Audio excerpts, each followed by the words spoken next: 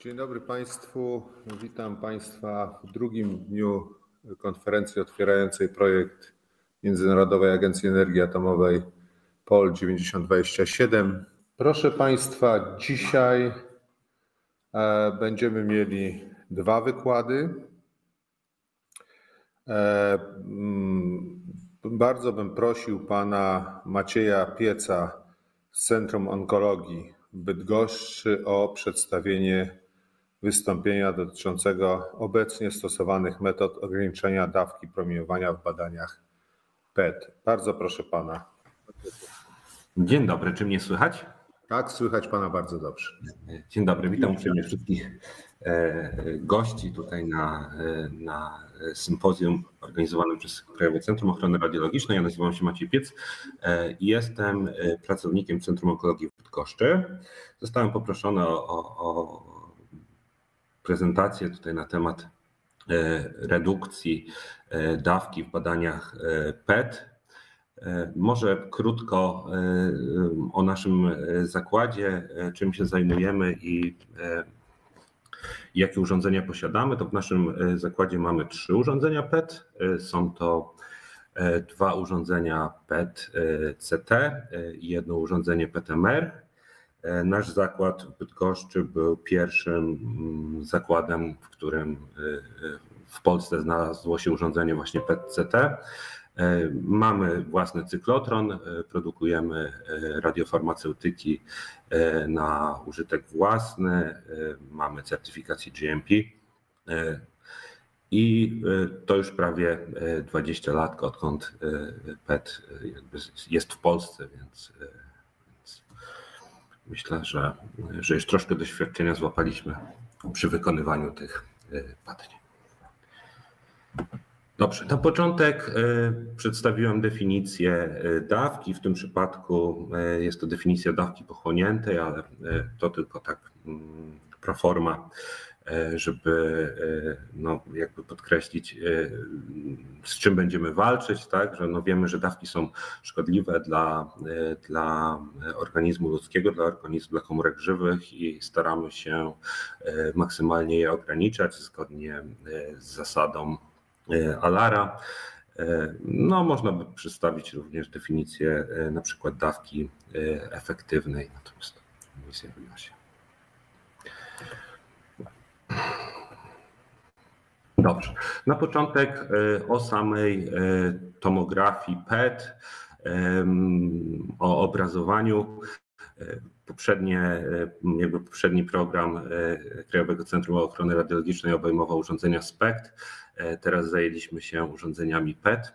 Tutaj jednak jakby sposób detekcji tego promieniowania jest troszeczkę inny. Również potrzebne oczywiście są nam radiofarmaceutyki, izotopy promieniotwórcze. Natomiast w przypadku mm, badań PET mm, potrzebujemy emiterów beta plus i mm, jakby dalej E, poprzez zjawisko anihilacji e, rejestrujemy fotony e, po przeciwnych stronach, jakby przeciwny, na przeciwnych detektorach, tak? Mamy tą naszą linię odpowiedzi i te detektory, które w tym samym momencie złapią sygnał właśnie z tych fotonów po anihilacji, rejestrują nam zliczenie. No, jakby e, technika PET e, jest cały czas udoskonalana, e, rosną liczby detektorów, mamy tutaj różne rodzaje detektorów. W ostatnim czasie pojawiły się te detektory oparte na półprzewodnikach, które zastąpiły fotopowielacze. Natomiast od jakby większa popularność jakby techniki PET nastała w momencie, kiedy e, połączono to urządzenie PET e, z innymi urządzeniami, czyli stworzono tak zwane urządzenia hybrydowe e, i mamy tutaj różne możliwości. Najczęściej stosowane klinicznie, stosowane jest urządzenie PET-CT, gdzie mamy połączenie tomografii komputerowej właśnie ze skanerem PET uzyskujemy obrazy zarówno z tomografii, jak i z, ze skanu PET. Te obrazy z tomografii służą do, do mm, lepszej oceny morfologicznej jakby tkanek, ale również używane są do rekonstrukcji samego obrazu PET. W ten sposób poprawiają jego, e, znacząco poprawiają jego e, jakość. E, tutaj mamy różne korekcje, na przykład korekcja pochłaniania, która pozwala nam uzyskać odpowiedni obraz, bardziej jednorodny obraz i odpowiadający temu, co tak naprawdę powinien obrazować ten skaner. E, nowe, e, od, no od, od, jakiegoś czasu e, pojawiły się też nowe metody, tak? Tutaj mamy PET-MR. No, kiedy się pojawiły, tak jak powiedziałem, detektory półprzewodnikowe, które, które pojawiły się na na rynku i które zostały jakby wprowadzone do urządzeń PET spowodowały to, że, że tak naprawdę można było stworzyć takie urządzenie, które e, ma w sobie zarówno urządzenie jakby rezonans magnetyczny, jak i e, jakby tą część detekcyjną PET, ponieważ no wcześniej fotopowielacze w wysokim polu niestety no nie, nie miały prawa funkcjonować, więc, więc tutaj rozwój detektorów PET spowodował, że, że udało się stworzyć aparat PET-MR, który jest jakby jednym aparatem. Wcześniej były próby, gdzie, gdzie były jakby dwa osobne gabinety. Pacjent przejeżdżał sobie na stole między jednym osobnym pomieszczeniem, e, gdzie był skaner PET i drugim osobnym e, urządzeniem, gdzie był skaner e, MR. Natomiast w tym momencie mamy to jako jeden aparat. Możemy jakby korzystać z tych funkcjonalności naraz, czyli w tym samym momencie następuje detekcja fotonów przy obrazowaniu PET i w tym samym momencie możemy skanować pacjenta, wykonując różne sekwencje rezonansowe. Dobrze. Mieliśmy, jakby tematem jest ograniczenie dawki i tutaj jakby ciężko troszeczkę e, było podzielić tą prezentację na, e, na, jakby na tą część, która będzie tyczyła się samych, samego radiofarmaceutyku, czyli tej dawki, która no, jest nam niezbędna do obrazowania PET e, jak i tej części, która będzie dotyczyła tej, tej części hybrydowej, czyli tego powiedzmy urządzenia CT w tym przypadku, jeżeli chodzi o, e, o dawki. E, tak naprawdę no, e, temat dość trudny, ponieważ optymalizacja dawki, tak? No my optymalizujemy dawkę według określonych standardów propozycji, na przykład my korzystamy w Centrum Onkologii Bydgoszczy z zaleceń Europejskiego Towarzystwa Medycyny Nuklearnej dotyczące właśnie obliczania dawki indywidualnej preparatu y, dla pacjenta, tak, różnych izotopów. Natomiast no, y, żeby rozszerzyć troszkę ten temat, to, e, to musimy y, przejść troszkę dalej, czyli wiedzieć, jakie mamy skanery, jaką, jakie one mają, jaką one mają czułość, e, jakie mają parametry, bo to, jakiego urządzenia będziemy dalej używać do naszej diagnostyki PET-CT, tak, y, daje nam odpowiedź, na ile my jesteśmy w stanie zredukować tą dawkę, tak? No, jakby budowa samych protokołów, więc, e, więc e, tutaj jakby postaramy się odpowiedzieć, jaka ma być ta dawka poprzez jakby technologie używane w metodach PET i poprzez parametry protokołów akwizycyjnych czy, czy parametry rekonstrukcji obrazu. E, I to jest jakby ta nasza pierwsza część, czyli ta część, którą, e, ta dawka, którą pacjent otrzyma z izotopu, który dostaje tam w sposób na przykład dożylny. E, natomiast druga część dawki, no to tutaj mamy optymalizację dawki, na przykład z tomografii komputerowej i sumacyjnie te, te, te dwie części dają nam tą łączną dawkę, jaką, e, jaką otrzyma pacjent. E, Krótko dwa, dwa slajdy, ponieważ no, w badaniach PET korzystamy ze, z radiofarmaceutyków, z izotopów promieniotwórczych. Są to otwarte źródła promieniowania, których no, nie jesteśmy w stanie wyłączyć, więc jakby jeżeli chodzi o dawkę w badaniach PET, ta dawka również tyczy się jakby dotyczy personelu, czy poniekąd też pacjenci między sobą dostają dodatkową dawkę, gdzieś tam przebywając w wspólnych pomieszczeniach i e, na to też trzeba zwrócić uwagę. Tutaj takie podstawowe aspekty, czyli e, jak tej dawki unikać i, e, i co ma duży wpływ na dawkę, tak? czyli czas, czyli jak długo będziemy przebywać e, w bliskości tych izotopów przy ich produkcji, przy ich podaniu, czy to przy pacjencie. Dystans oczywiście, staramy się zachować maksymalnie duży dystans od pacjentów, nie unikać kontaktu z nimi, spędzać z nimi tylko tyle czasu, ile tak naprawdę potrzebujemy, żeby wykonać prawidłowo daną procedurę. E, natomiast unikamy tutaj e, bliskich kontaktów, dodatkowo e, osłony, czyli no tutaj raczej to wszystko jest dopracowane, ponieważ oddając jakąś tam pracownię, czy to, czy to radiologiczną typowo, czy to właśnie w zakładzie medycyny nuklearnej, musimy spełnić wszystkie normy, jeżeli chodzi o, o ochronę radiologiczną, te grubości ścian, osłon, natomiast też warto o tym wspomnieć, bo to wszystko sumacyjnie będzie wpływało na dawkę, jaką otrzyma e, personel. Mm, dobrze, tutaj są przykłady, e, w jaki sposób możemy jeszcze dodatkowo e, ograniczać tą dawkę, czyli stosujemy jakieś tam osłony na, na strzykawki, których podawane są te izotopy, fartuchy, które i osłony jakieś tam na tarczyce, E, które pozwalają nam e, zmniejszyć e, dawkę, którą, którą przyjmiemy. Oczywiście też, jeżeli chodzi o sam proces produkcji radiofarmaceutyków, to wygląda różnie. Po części te radiofarmaceutyki niektóre ośrodki zakupują, niektóre ośrodki produkują to jakby w swoich laboratoriach, natomiast sprzęt, w którym to wszystko jest wykonywane, powinien również spełniać wszystkie normy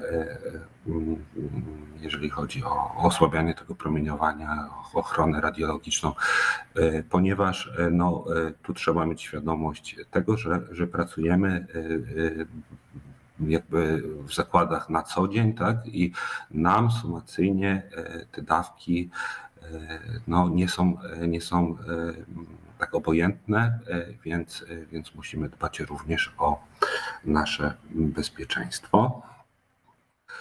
Dobrze. I tutaj e, kolejnym slajdem jest e, jeden ze sposobów, e, w jaki obliczamy dawkę, którą powinien dostać pacjent. No, wiadomo, używamy różnych radiofarmaceutyków. Ja tutaj przedstawiłem przykład zgodny z, z zaleceniami Europejskiego Towarzystwa Medycyny Nuklearnej. Tutaj jest opublikowane, opublikowane zalecenia dotyczące się wykonywania całej procedury PET-CT, na przykład z użyciem e, radiofarmaceutyku FDG e, i to e, jest jeden ze sposobów, w jaki sposób możemy obliczyć dawkę, którą podajemy pacjentowi, tak mm, jakby patrząc tutaj na wzór, no to no naj, najistotniejszym e, parametrem e, jest e, waga pacjenta, ale tak jak też mówiłem wcześniej, istotnym parametrem jest też protokół nasz, którym będziemy skanować pacjenta i tutaj uwzględniony jest czas, w, jaki, w jakim będzie trwała ta nasza E, nasza detekcja e, promieniowania e, z radiofarmaceutyku. Jest jeszcze inny wzór, nim też można się posługiwać, natomiast jeżeli ktoś nie czytał tych zaleceń, to ja bardzo zachęcam do tego. Tam jest szczegółowo opisana cała procedura wykonania badania od przygotowania pacjenta poprzez właśnie wyliczenia dawek dla pacjenta, poprzez optymalizację protokołów. Myślę, że, że to bardzo ciekawy dokument. Dobrze, dalej. Kolejna jakby e, kwestia, ponieważ mamy pewnego rodzaju zalecenia dotyczące tej dawki. I teraz jest pytanie, czy my możemy tą dawkę zredukować e, lub e, powiększyć i od czego to będzie zależało.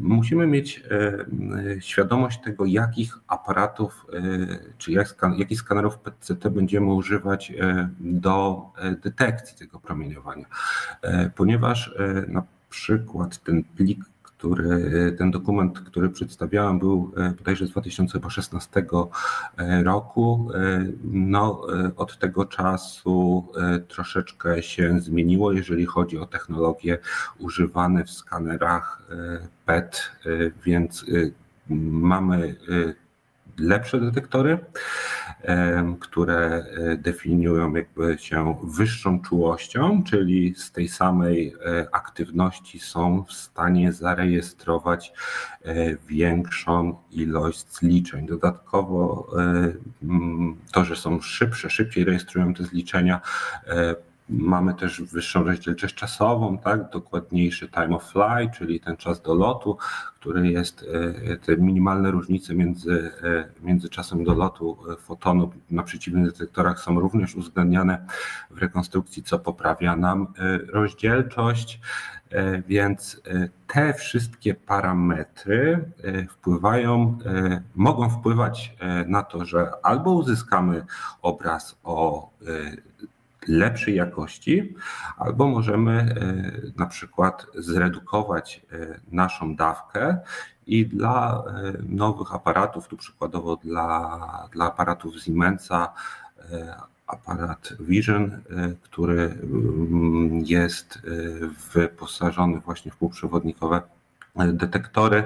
E, tutaj jest mniejszy kryształ, mamy wyższą czułość i tak e, jakby producent deklaruje, że około 20-25% e, ta czułość jest wyższa, więc tutaj można próbować redukować dawkę, którą podajemy pacjentowi. Właśnie myślę, że, że rozsądnie byłoby robić to stopniowo, natomiast y, y, z deklaracji producenta można ją zredukować jeszcze dodatkowo o na przykład 20%, więc, więc jest to kolejny aspekt, który powinien być uwzględniany przy, przy dawce wyliczanej dla pacjenta. Kolejną rzeczą, e, którą e, umieściłem w prezentacji, jest kalibrator dawki. Jest to dość istotny element, eponieważ na podstawie kalibratora dawki jakby przygotowujemy właśnie tą dawkę pacjentowi i, i sprawdzamy, czy ona ma odpowiednią aktywność, taką, taką jaką chcielibyśmy pacjentowi podać. Więc odchylenia tutaj na miernikach y, aktywności, na kalibratorach dawki powodują nam również y, odchylenia, jakby no, odchylenie 15% na kalibratorze dawki no, może spowodować, że pacjent otrzyma o, o te 15% wyższą dawkę z radiofarmaceutyków, więc jest to bardzo istotny element e, i powinniśmy e, regularnie e, takie urządzenia jak kalibratory dawki wzorcować. Oczywiście takie testy są uwzględnione w, mm, uwzględnione w przepisach prawnych, w rozporządzeniach ministra zdrowia, jak często powinniśmy to robić. Natomiast mm, ja tutaj zaznaczyłem jeszcze dodatkowo pomiar na, na fantomie wykonany na skanerze PET. Oczywiście nasz skaner PET powinien być w odpowiedni sposób skalibra, skalibrowany z naszym kalibratorem dawki, tak? To, to jest, wykonuje się taką kalibrację krzyżową e, i e, uwzględnia się odchylenia, jakby, no jakby kalibruje się na kalibrator dawki do urządzenia PET, e, by te aktywności, koncentracje, a dalej jednostki SUV były pokazywane w sposób prawidłowy. I tutaj pozwoliłem sobie wstawić logo, wstawić logo akredytacji R, ponieważ taka akredytacja w momencie, kiedy, kiedy no, współpracujemy, kiedy uzyskaliśmy taką akredytację, jesteśmy zobowiązani dość często wykonywać testy, które to jest raz, minimum raz na trzy miesiące, jest taki test koncentracji i to też jest e, dobry e, moment, żeby sprawdzić, czy e, właśnie odchylenia na naszym kalibratorze dawki się nie zmieniły. Po, przy wykonaniu takiego testu oczywiście musimy odpowiednio wprowadzić system parametry naszego fantomu, no ale po skróceniu się wzoru na SUV wychodzi nam jedynka, to jest taki częsty test i my możemy sobie sprawdzić, czy ten SUV rzeczywiście jest zbliżony e, e, do tej jedynki i e, może dlaczego o tym mówię? Mówię o tym, ponieważ w naszym rozporządzeniu mamy ten test wpisany jako kalibrację, a nie weryfikację.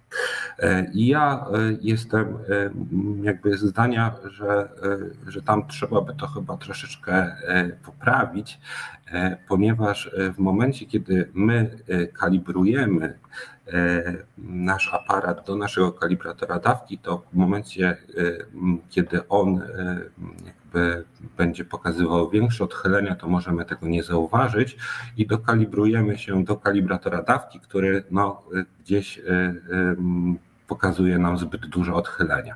Jeżeli e, robimy weryfikację, e, to e, w momencie, kiedy nasze wyniki są, no nie podobają nam się, to mamy, mogą być to dwa powody. Jedno, że coś dzieje się z naszym urządzeniem PET, a drugie właśnie, że coś dzieje się z naszym kalibratorem dawki. Dlatego taka weryfikacja przed kalibracją wydaje się być dość e, istotna. E, sam jakby w praktyce e, raz miałem taki przypadek, gdzie rzeczywiście poprzez właśnie taką weryfikację udało się wychwycić nieprawidłowe działanie kalibratora dawki, więc jest taka uwaga. Dobrze, co jest jeszcze e, jakby e, istotne? E, istotne jest przygotowanie pacjenta. Ten slajd pozwoliłem dodać sobie do prezentacji, ponieważ jakby wczoraj nasz ekspert Pan John Dixon y, też y, o tym mówił i rzeczywiście wypadło y, mi to przy przygotowywaniu mojej prezentacji, natomiast rzeczywiście jest to bardzo istotny element, który wpływa nam na jakość obrazowania. W momencie, kiedy pacjent będzie nieodpowiednio przygotowany, będziemy mieli gorszą jakość badania.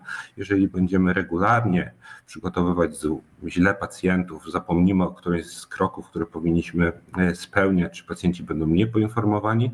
E, później e, jakby w dalszej e, diagnozie może powodować to, że no, na przykład będziemy chcieli troszeczkę podwyższać dawki, które podajemy pacjentom ze względu na słabą jakość obrazowania, tak? A, a może tutaj powodem być przygotowanie pacjenta, dlatego odpo oczywiście odpowiednie nawodnienie, tutaj jeżeli chodzi o poziom glukozy, e, również oczekiwanie pacjenta, tak? Tutaj dość istotne jest, żeby pacjenci przebywali e, oczekując na badanie w odpowiednich warunkach. To powinien być często i pokój, który jest dość ciemno, jest cicho, ci pacjenci się nie ruszają. Natomiast też dość istotne są e, osłony, e, które powinny znajdować się między pacjentami, tak, żeby pacjenci jeszcze dodatkowo nie, e, nie emitowali na siebie promieniowania, tak, czyli żeby dawka, którą dostali i była tą, która ich obciąża, żeby nie była to dawka, którą, e, którą jeszcze dodatkowo dostał inny pacjent, więc, więc myślę, że też warto o tym wspomnieć. Dodatkowo aktywność fizyczna przed e, badaniem też e, nie jest zalecana.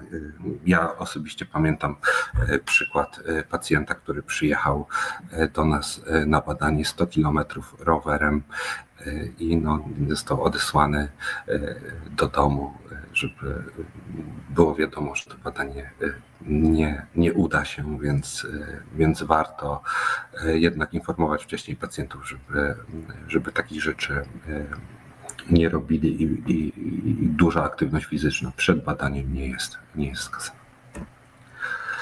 Oczywiście różne izotopy wymykają różnego przygotowania, ale tutaj to bardziej tyczyło się y, fluorodoksy glukozy, czyli te badania są e, najbardziej popularne. E, co dalej?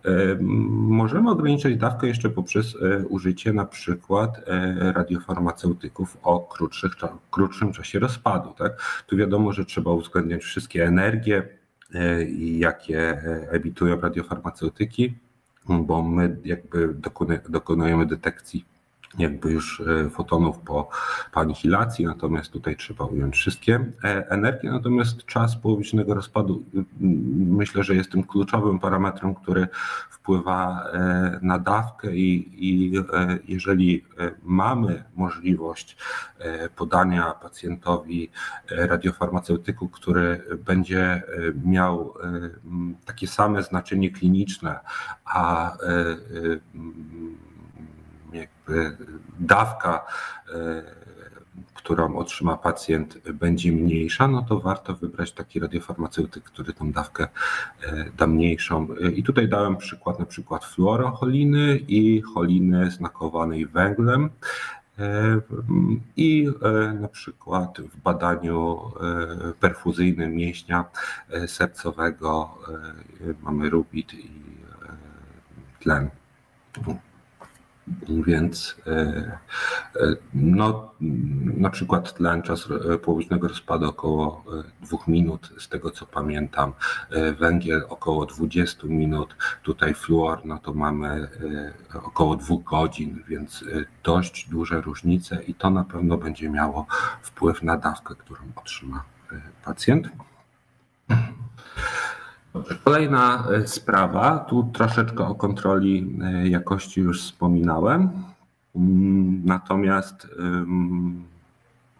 istotne są oczywiście, e, istotne jest to, żeby aparat działał w sposób, nasz skaner działał w sposób sprawny, więc przyglądy serwisowe oczywiście przy przeglądach serwisowych często serwis dokonuje testów, e, wiem, że wykonuje testy, więc e, mamy dodatkowe pewność, dodatkową pewność, że na pewno e, aparat działa w sposób prawidłowy, dodatkowo sprawdza aparat mechanicznie, tak, więc, więc no mamy tutaj Pozwoliłem sobie te, te przeglądy serwisowe dodać do, do mojej prezentacji. Kolejnym e, krokiem oczywiście e, kontrola jakości e, naszych systemów. Tutaj wiem, że kolejna prezentacja będzie właśnie tyczyła się kontroli jakości naszych polskich przepisów, jak to wygląda u nas. Natomiast tutaj cała kontrola jakości, jeżeli chodzi o system detekcyjny PET, przeniesiona jest typowo na, na użytkownika. Tutaj nie, nie ma testów specjalistycznych i testów podstawowych. Testy podstawowe są w bardzo szerokim e, zakresie e, i no, musimy weryfikować, w jaki sposób działa nasz skaner. No tutaj przedstawiłam jakieś tam takie podstawowe testy, czyli test z wykonaniem z użyciem fantomu Jaszczaka, którym e, oceniamy e, rozdzielczość e, tutaj na przykład sektorów. Mamy dodatkowo jeszcze różne sfery, obszar jednorodny, więc ten jakby wykonanie testu z fantomem Jaszczaka jest zgodne tutaj z naszym rozporządzeniem, dlatego on się tutaj znalazł. Dalej na przykład fantom NEM Body, on służy do, do mm, w naszym zakładzie służy do e, pomiarów akredytacyjnych. E, myślę, że w testach podstawowych, do testów podstawowych nie jest wymagany, natomiast e, dobrze jest posiadać taki fantom, e, to właśnie gdy chcemy uzyskać akredytację. Dodatkowo możemy oczywiście wykonać kontrolę jakości według standardu NEMA. E, często producenci deklarują e, parametry techniczne, jakby specyfikację techniczną aparatu rozdzielczości poprzez właśnie te, testy oparte na standardzie NEMY i możemy porównać sobie nasze pomiary z, z, jakby z z tymi referencyjnymi e, wartościami podanymi przez producenta i ocenić, czy nasz aparat e, e, trzyma parametry, czy, mm, czy nic złego się z nim nie dzieje. Dalej Phantom również zgodny ze standardem NEMA do oceny rozdzielczości przestrzennej w powietrzu. Tutaj pozwoliłem sobie dodać jeszcze taki dokument właśnie Międzynarodowej Agencji energii atomowej i tutaj jest to taka Biblia troszeczkę, jeżeli chodzi o testy e, urządzeń PET e, i PET-CT i myślę, że wszyscy e, fizycy czy to elektroradiolodzy, którzy zajmują się kontrolą jakości urządzeń PET-CT znają dobrze ten dokument, a jeżeli nie znają, to, to naprawdę warto tam zajrzeć. Co jeszcze? Było troszeczkę e, na temat już akredytacyjnych pomiarów, na przykład akredytacji R, e, czyli tej akredytacji zalecanej przez Europejskie Towarzystwo Medycyny Nuklearnej. E, tutaj są przykłady jakby wyników już opracowanych, jeżeli chodzi o takie pomiary. E, chodzi o to, żeby odpowiedź detekcyjna naszego skanera była zgodna z obszarem, który tutaj jest na wykresie i my dokonujemy e, takich pomiarów na fantomie i sprawdzamy, czy odpowiedź naszego skanera jest odpowiednia. W ten sposób e, mamy informację, że nasz skaner mieści się jakby w zakresie, którym zaleca E, akredytacja i jest porównywalny do e, innych skanerów, które również e, jakby no, są zgodne z tą akredytacją. Tak? Dzięki temu porównywanie badań między ośrodkami jest możliwe i, i pacjenci mogą migrować pomiędzy różnymi ośrodkami, natomiast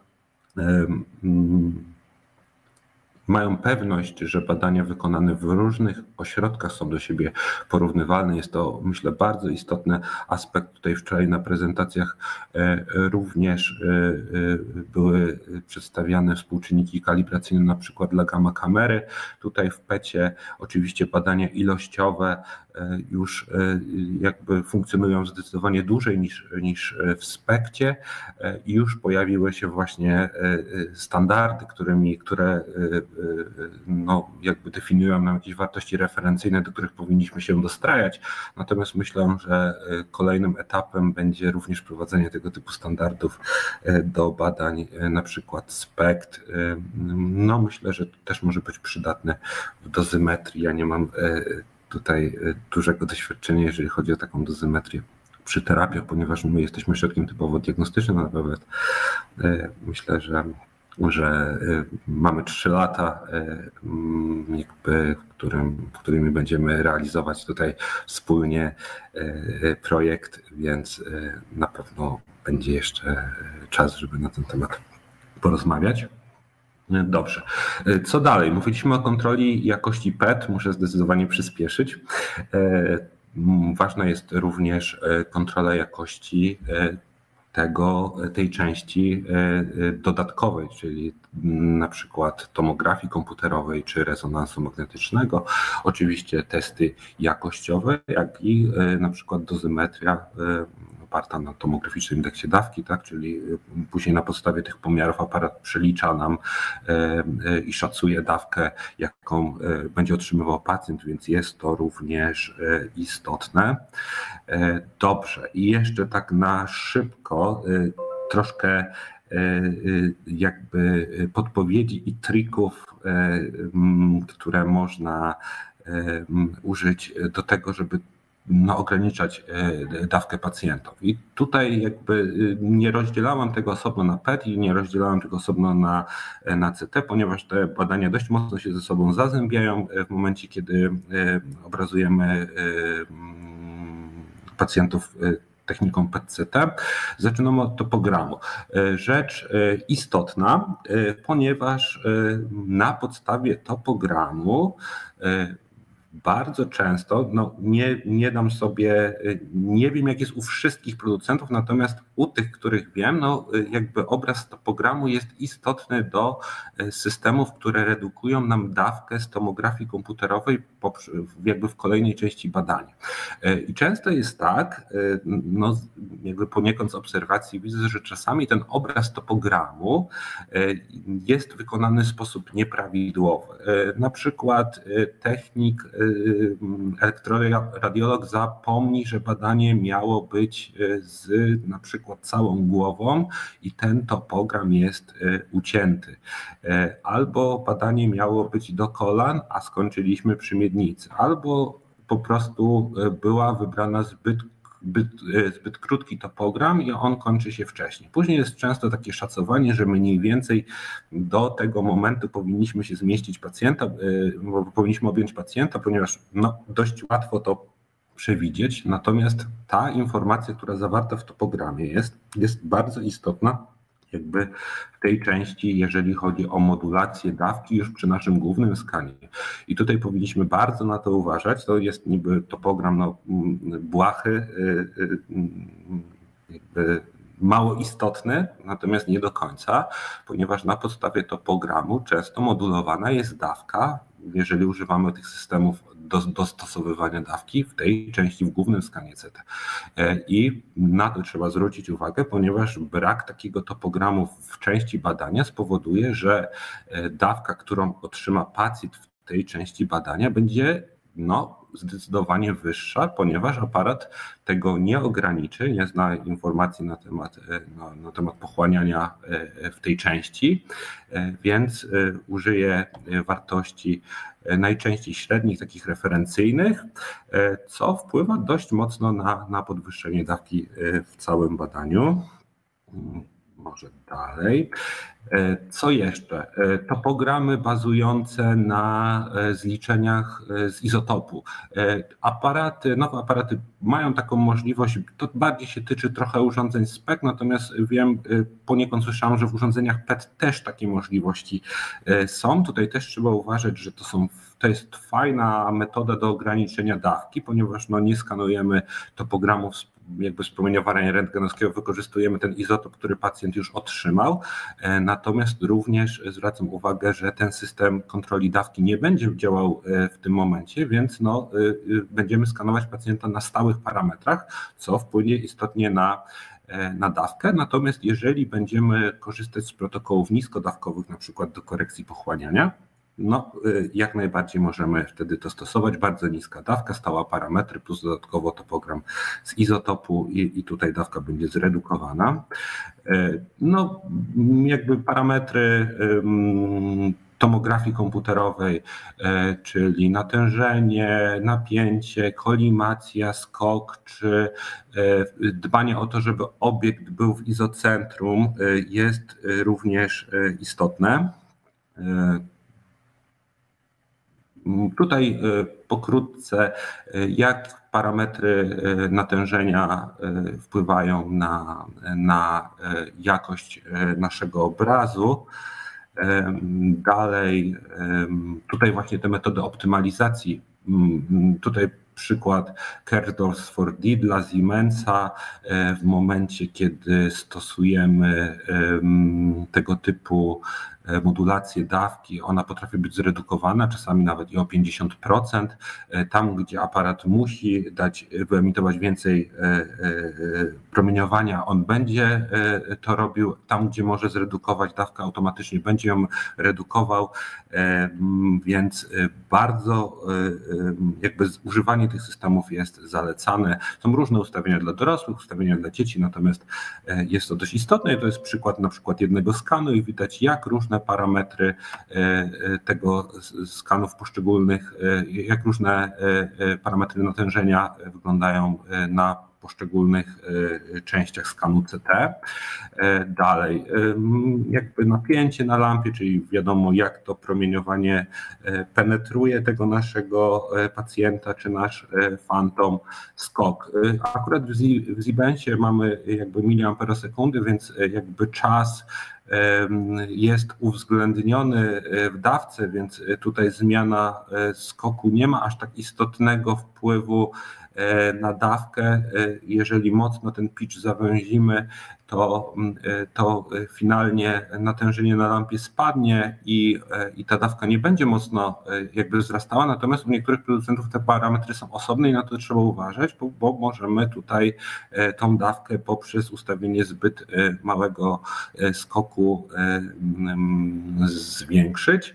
Dalej ustawienie pacjenta w izocentrum to też jest dość istotne. Pacjent powinien być, tutaj jest wadliwe położenie, pacjent jest położony zbyt wysoko i odpowiednio detektorów przy różnych położeniach lampy jest inna, co wpływa na jakość e, obrazowania. To dość istotny element. E, myślę, że warto o tym powiedzieć, czyli e, w momencie, kiedy skanujemy naszego pacjenta, to postarajmy się, mamy do wykonania więcej akwizycji petowych, na przykład akwizycja statyczną czy synogram. Dodatkowo mamy temu pacjentowi wykonać e, e, akwizycję bramkowaną na przykład na obszar klatki piersiowej. E, warto wtedy korzystać z jakby możliwości aparatu i odnosić wszystkie te badania do jednego CT, czyli tworzyć rozbudowane protokoły, a nie robić po kolei badania. Na początku zrobimy skan tomografii i wykonamy badanie statyczne, a później wykonamy jeszcze jeden skan i zrobimy badanie bramkowane. Tutaj trzeba mieć wiedzę na temat tworzenia takich protokołów, przygotować sobie różne protokoły i starać się wykonywać badania w taki sposób, żeby było tam jak najmniej tomografii, e, jeżeli, a i wykorzystać tę tomografię do korekcji pochłaniania później do naszych poszczególnych akwizycji PET. E, natomiast wiem, że, e, że poniekąd w niektórych ośrodkach wykonuje się wszystko osobno. Dalej e, błędy związane z tym, że e, wykonamy pacjentowi tomografię komputerową, natomiast popełnimy jakiś błąd w trakcie e, już planowania badania PET. Na przykład zbyt mały czas na łóżko, bo oczywiście dużo rzeczy jak izotop, dawki, to można w sposób później postprocesingowy poprawić. Natomiast no, jeżeli chodzi o czas, tego już nie poprawimy często jest tak, że w momencie, kiedy e, wybrany jest nie ten protokół, zaczynamy takie badanie PET, ktoś się zorientuje, a i to był pacjent, który miał inny izotop, zamykamy, otwieramy na nowo. W żadnym wypadku proszę tak nie robić, to, to, to jest niedopuszczalne.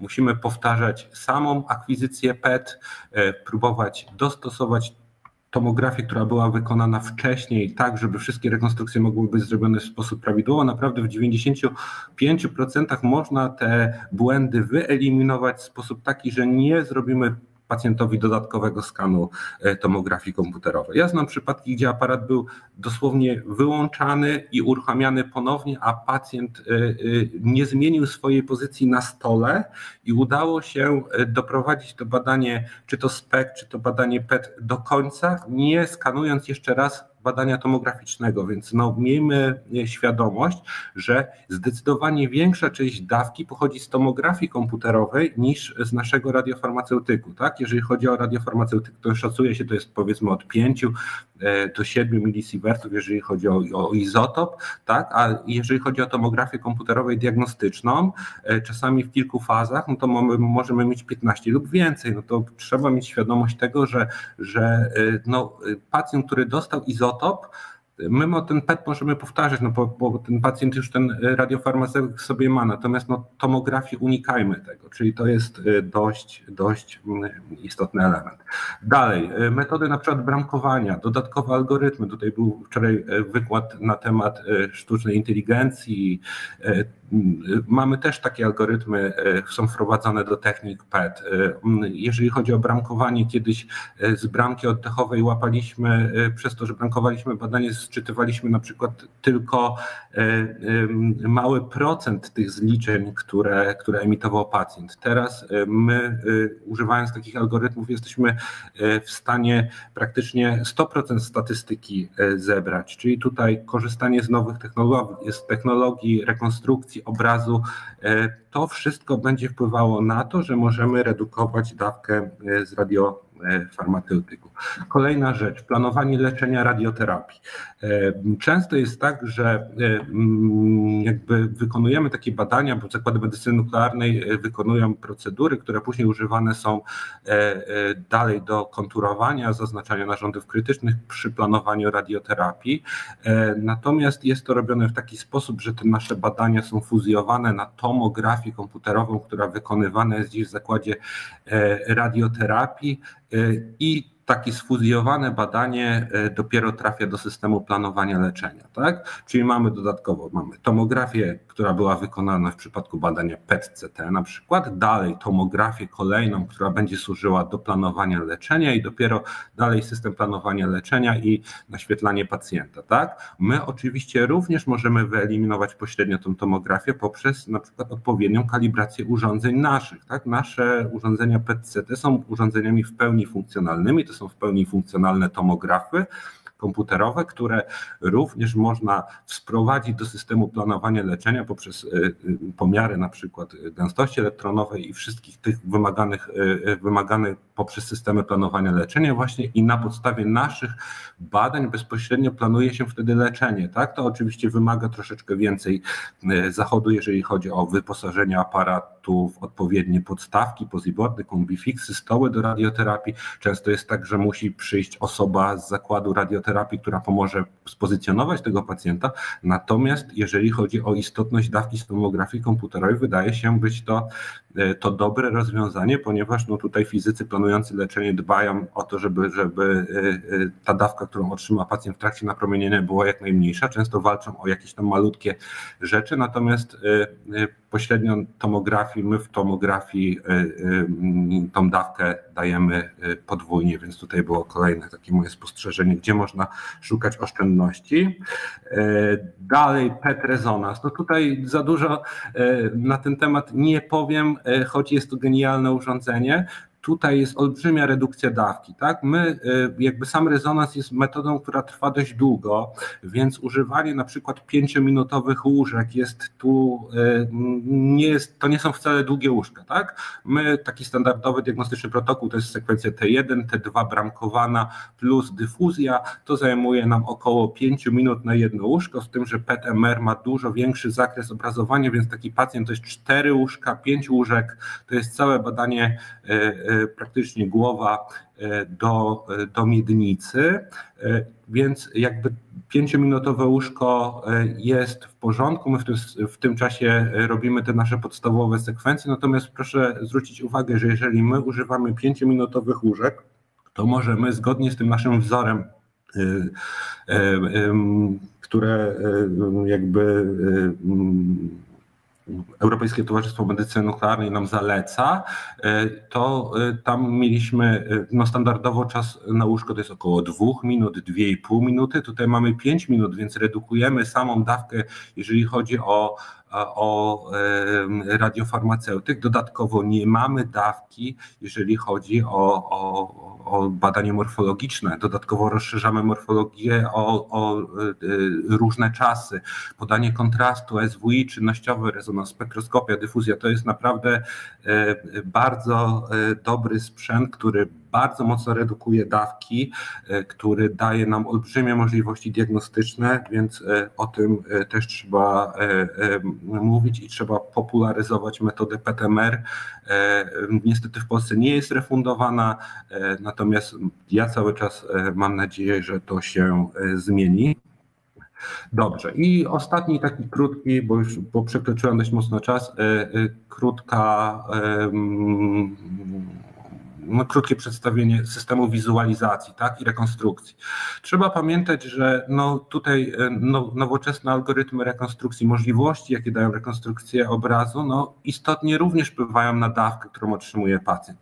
To jest ten sam skan, e, wykonany dokładnie to, no, jednoczasowo, tak, zrekonstruowany w różny sposób e, i na przykład zrekonstruowanie go typowo pod jakby kernel płucny plus zastosowanie okna płucnego zupełnie zmienia obraz, jakość tutaj tego badania niż użycie standardowego kernela. Więc y, jakby wprowadzenie tych systemów wizualizacji, tego, że lekarz może oglądać sobie zarówno tkankę miękką w odpowiednim oknie, jednoczasowo z tkanką, y, z, z rekonstrukcją skierowaną na przykład na płuca, nie musi zamykać tych badań, otwierać y, ponownie, tylko widzi wszystko na jednym obrazie, powoduje to, że że e, jakby łatwiej jest ocenić mu niektóre rzeczy i może dawka, która jest wymagana do oceny, może zostać zmniejszona, tak? Czyli e, na pewno jest to e, korzystny wpływ na, na dawkę.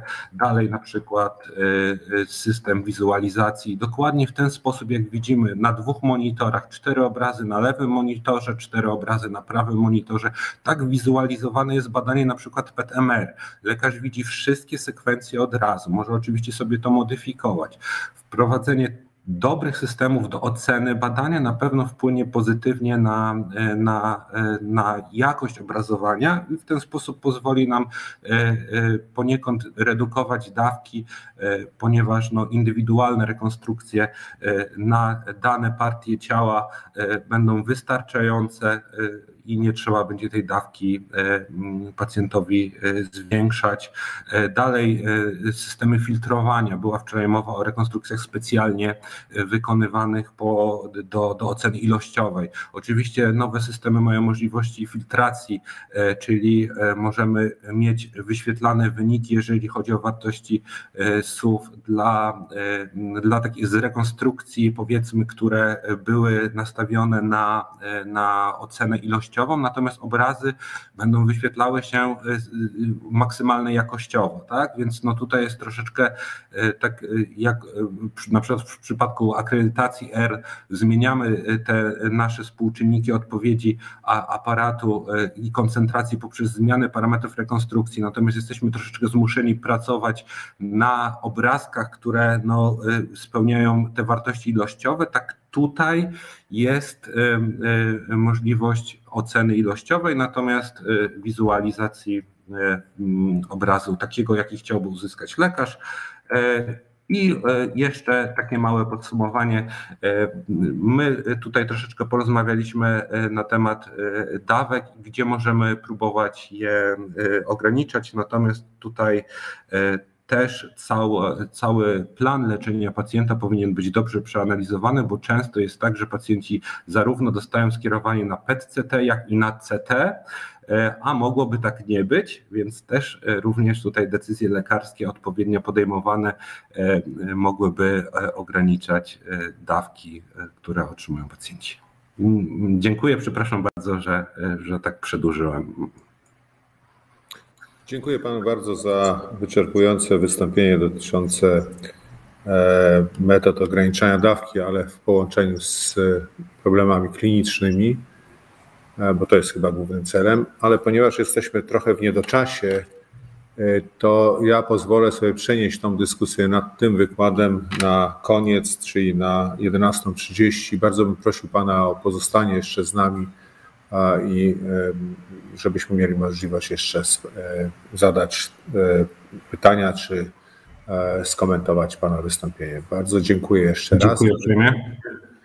I przechodzimy do następnego wykładu pani Agaty Sackiewicz z Narodowego Instytutu Onkologii i prosiłbym Panią o przedstawienie aktualnych przepisów dotyczących kontroli jakości aparatów PET w Polsce. Bardzo proszę Panią o połączenie się z nami, włączenie i mikrofonu, i kamery, jeżeli to jest możliwe.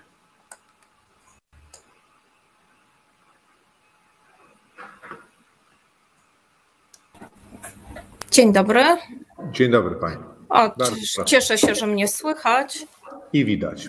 I widać. E, proszę Państwa, ja e, bardzo dziękuję za zaproszenie do e, uczestnictwa w tej inauguracji projektu. Dostałam trochę takie mało wdzięczne zadanie odniesienia się i przedstawienia pokrótce przepisów dotyczących kontroli jakości aparatów PET, nad którymi, na których pracujemy w Polsce.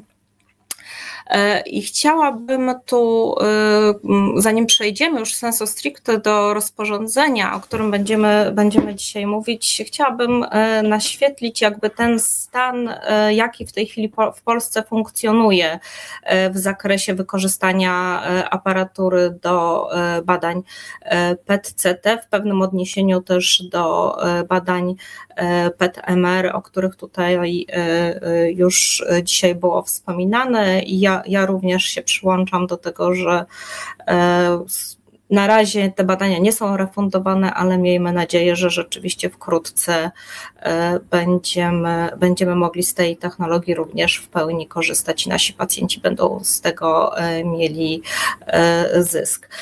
Jeśli chodzi o uwarunkowania prawne instalacji i wykorzystania takiej aparatury, to musimy pamiętać, że aby rozpocząć badania mm, na skanerze PET-CT, zobowiązani jesteśmy do e, uzyskania zezwolenia e, prezesa Państwowej Agencji e, Atomistyki na stosowanie takiego aparatu w kontekście wytwarzania promieniowania jonizującego, ale pamiętajmy, że jest to w kontekście nie, nie jako tomografii diagnostycznej, ale wykorzystywania w naszym przypadku do korekcji pochłaniania i do odwzorowywania anatomicznego, które będzie tylko jakby e, używane do fuzji obrazów i do lokalizacji e, zmian, które nam się e, pojawią na skutek gromadzenia odpowiedniego radiofarmaceutyku.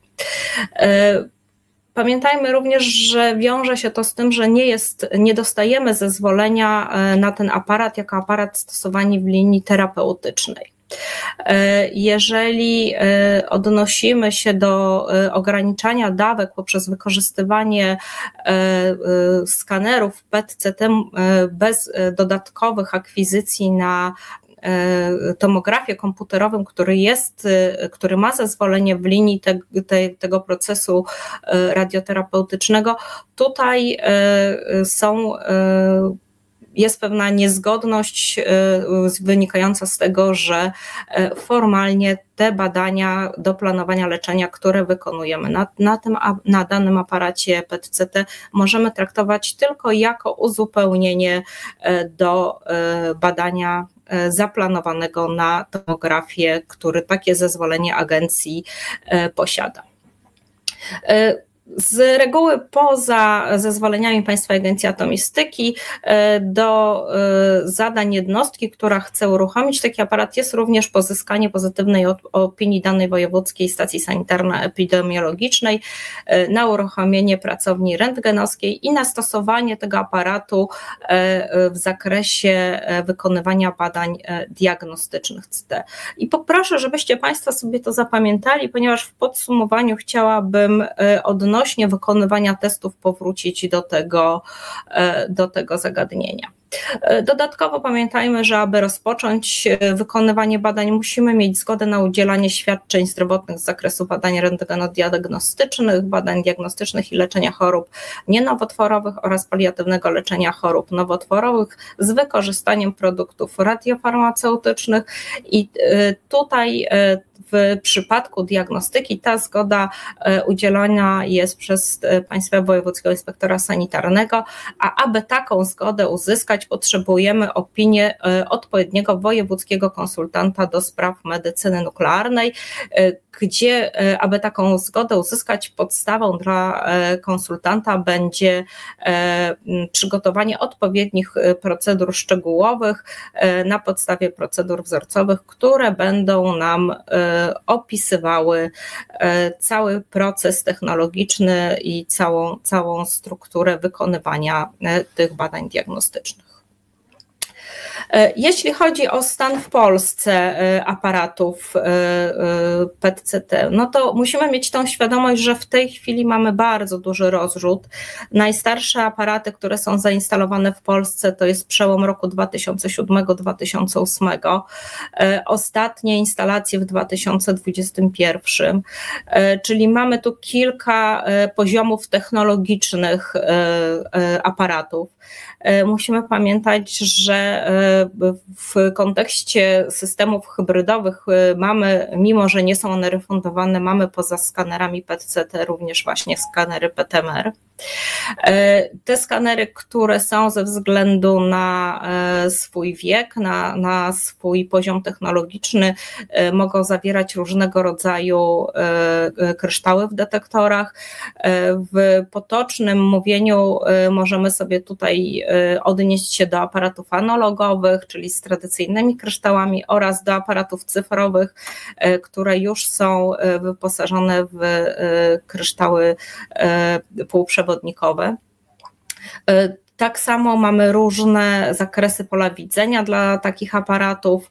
E, w tej chwili e, e, tym, o czym na, na pewno Państwo słyszeli w ramach ostatniej Akademii Onkologii Nuklearnej, były aparaty tak zwane total body, czyli o długim polu widzenia, około 180 cm.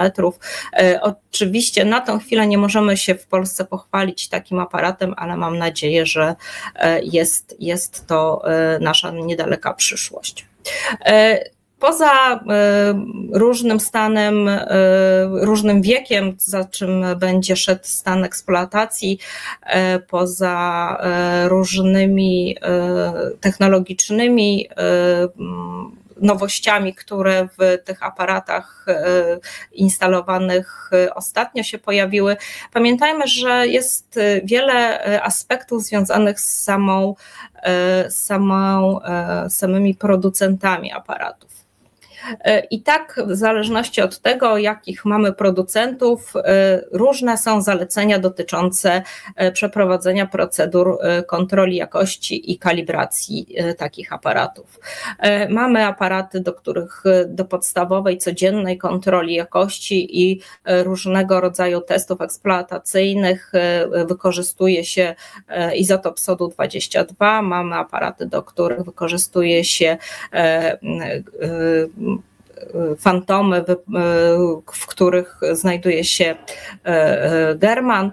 E, pamiętajmy o tym, że różnego rodzaju są to, różnego rodzaju, w zależności od producenta, będą to fantomy, z których, w których będą umieszczane te źródła do kalibracji aparatu. Oczywiście, jeśli mówimy o części CT, tych systemów hybrydowych najczęściej funkcjonujących w Polsce, jest to pewien standard, który jest podtrzymywany zgodnie ze standardem e, dla tomografii komputerowej.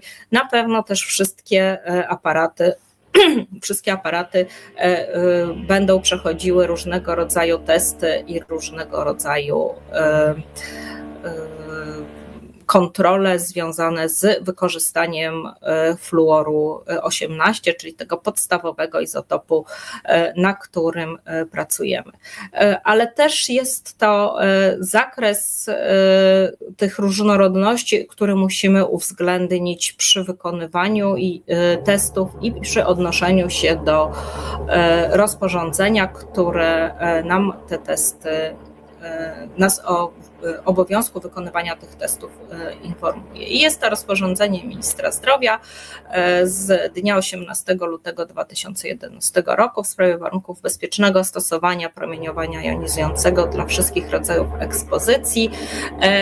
Obecnie pojawił się załącznik do obwieszczenia ministra z dnia 3 kwietnia 2017 roku.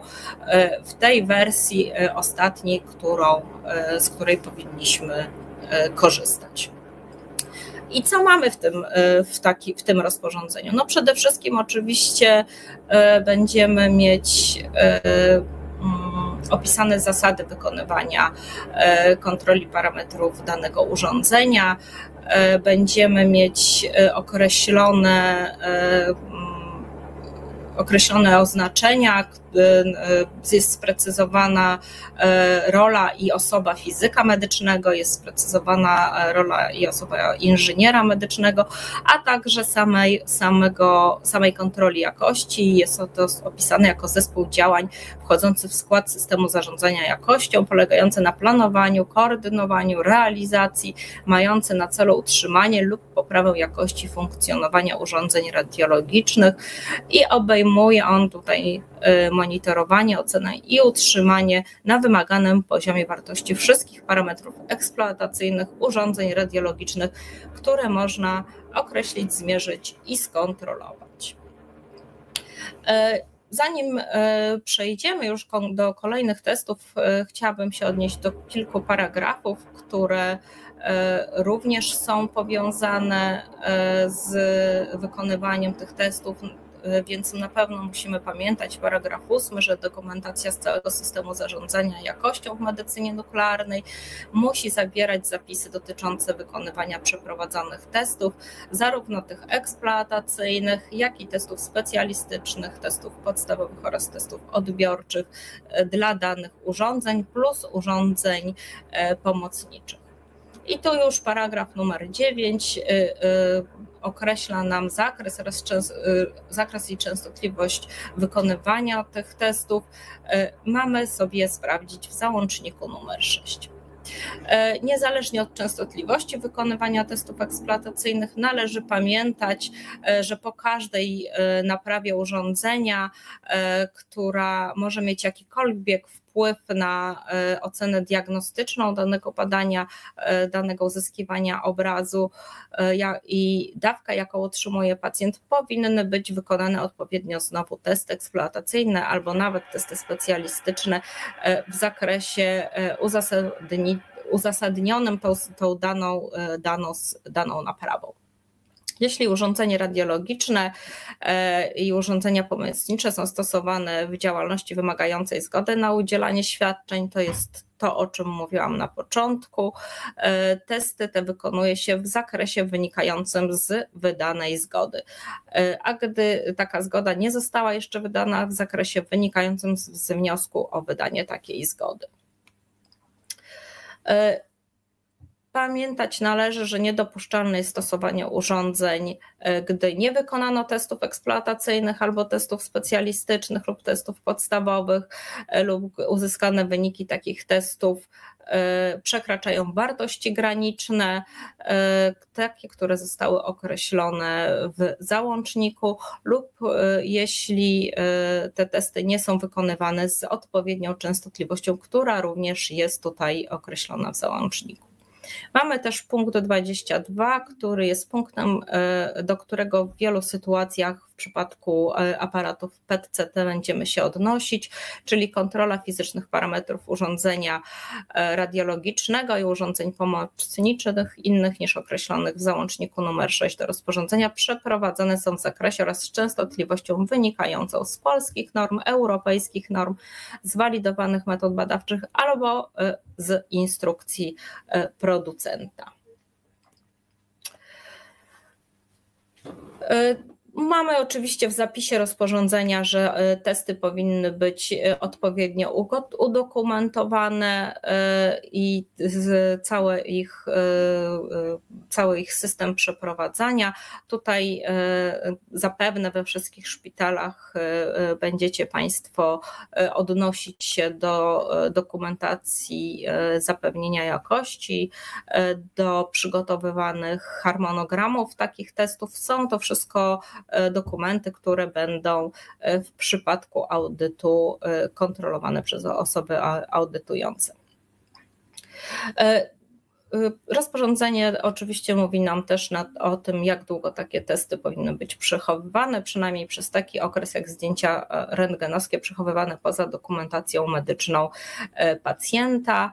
E, w medycynie nuklearnej jest też, jesteśmy też obowiązani do przekazywania Państwowemu Wojewódzkiemu Inspektorowi Sanitarnemu w terminie 7 dni od dnia otrzymania wyniku wykonania testów specjalistycznych informację o uzyskanym wyniku negatywnym oraz o podjętych e, działaniach korygujących. Czyli w przypadku, kiedy na e, aparacie są wykonywane testy specjalistyczne, powinniśmy powiadomić, jeśli te testy wyszły e, negatywnie. Tutaj jest ten punkt nie do końca nam się odnosi do skanerów PET-CT, bo tak jak w przypadku tradycyjnej medycyny nuklearnej i wykorzystywania gamma kamer oczywiście mamy określony ten zakres testów specjalistycznych, tak tutaj jak Państwo później sobie e, e, zobaczycie, w przypadku skanerów PET-CT e, tych testów specjalistycznych nie, nie, mamy, nie mamy dla nich skonstruowanych w rozporządzeniu żadnych wytycznych.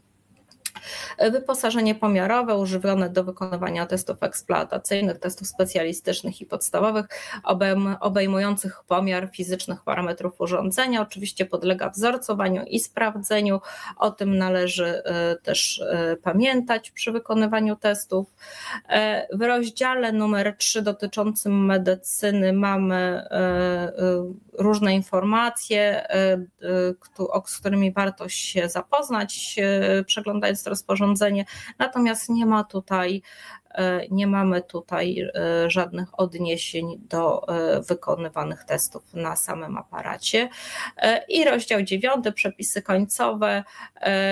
Pamiętajmy o tym, że ponieważ to rozporządzenie jest na tym etapie tylko aktualizowane, więc tutaj mamy paragraf 59, który nam określał, że od dnia 1 stycznia 2012 roku do 31 grudnia 2012 roku testy, o których mowa, e, mogą być wykonywane przez osoby nieposiadające akredytacji Y, przez laboratoria Państwowej Inspekcji Sanitarnej oraz podmioty upoważnione przez Państwowego Wojewódzkiego Inspektora Sanitarnego y, i paragraf 60, że do końca grudnia 2015 roku fizyk medyczny lub inżynier medyczny uważa się, za nich uważa się również fizyka lub inżyniera bez specjalizacji posiadającego, posiadających co najmniej pięcioletni staż pracy w jednostce ochrony zdrowia w zakresie medycznego zastosowania stosowania promieniowania jonizującego.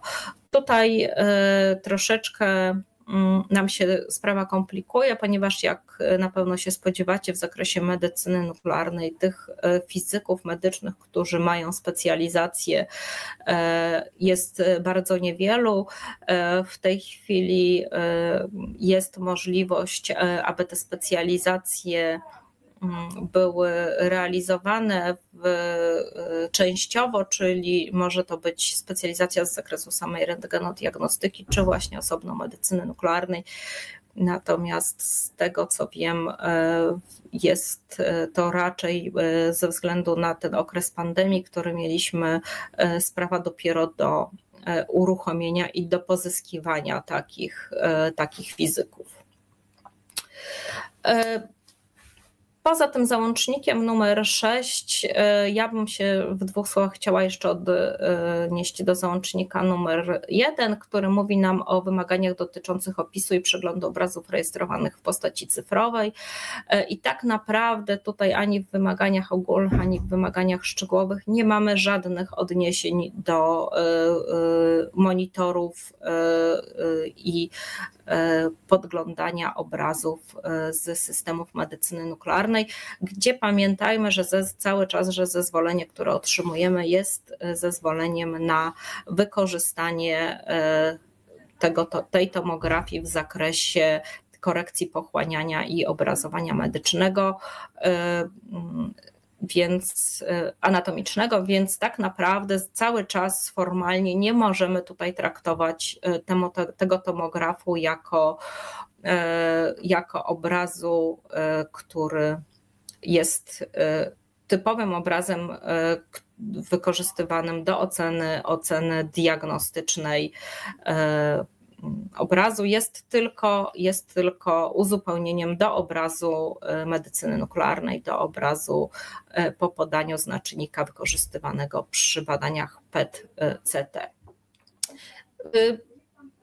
Czy część z nas w praktyce e, odnosi się e, do wymagań szczęgłowych jako do tomografii?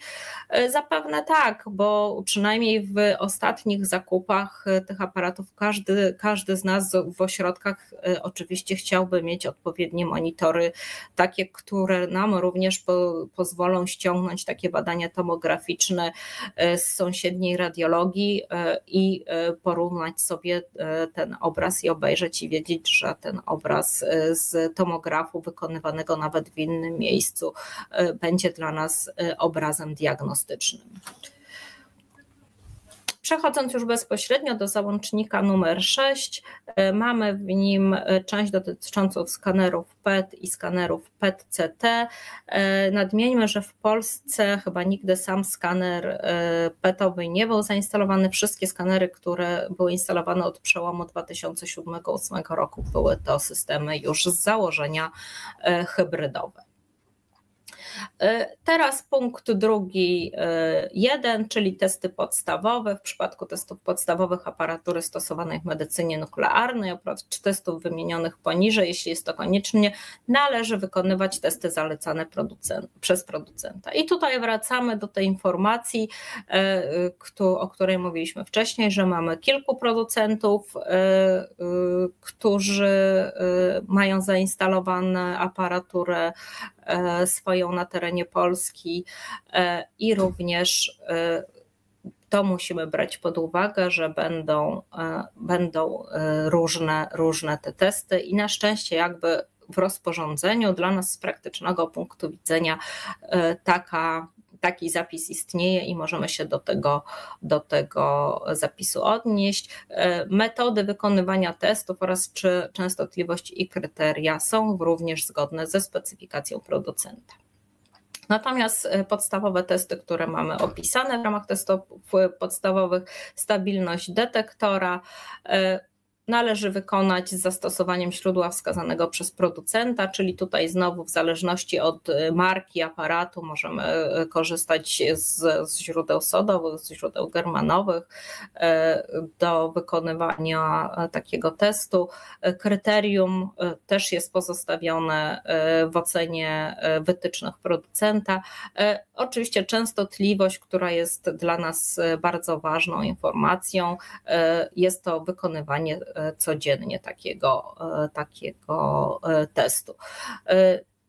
Należy pamiętać, że te testy, o których też będziemy dalej jeszcze mówić, też ten zakres z reguły w zależności od producenta jest skonstruowany tak, że metodyka poszczególnych testów wyklucza ominięcie któregoś w momencie wykonania jakiejś części procedury, dopiero system nam pozwala przejść do kolejnego kroku, do kolejnego testu więc jest, jest to też specyficzne dla danego e, aparatu, jego wieku i e, producenta, a może bardziej nawet producenta, a potem e, dopiero wieku tego aparatu.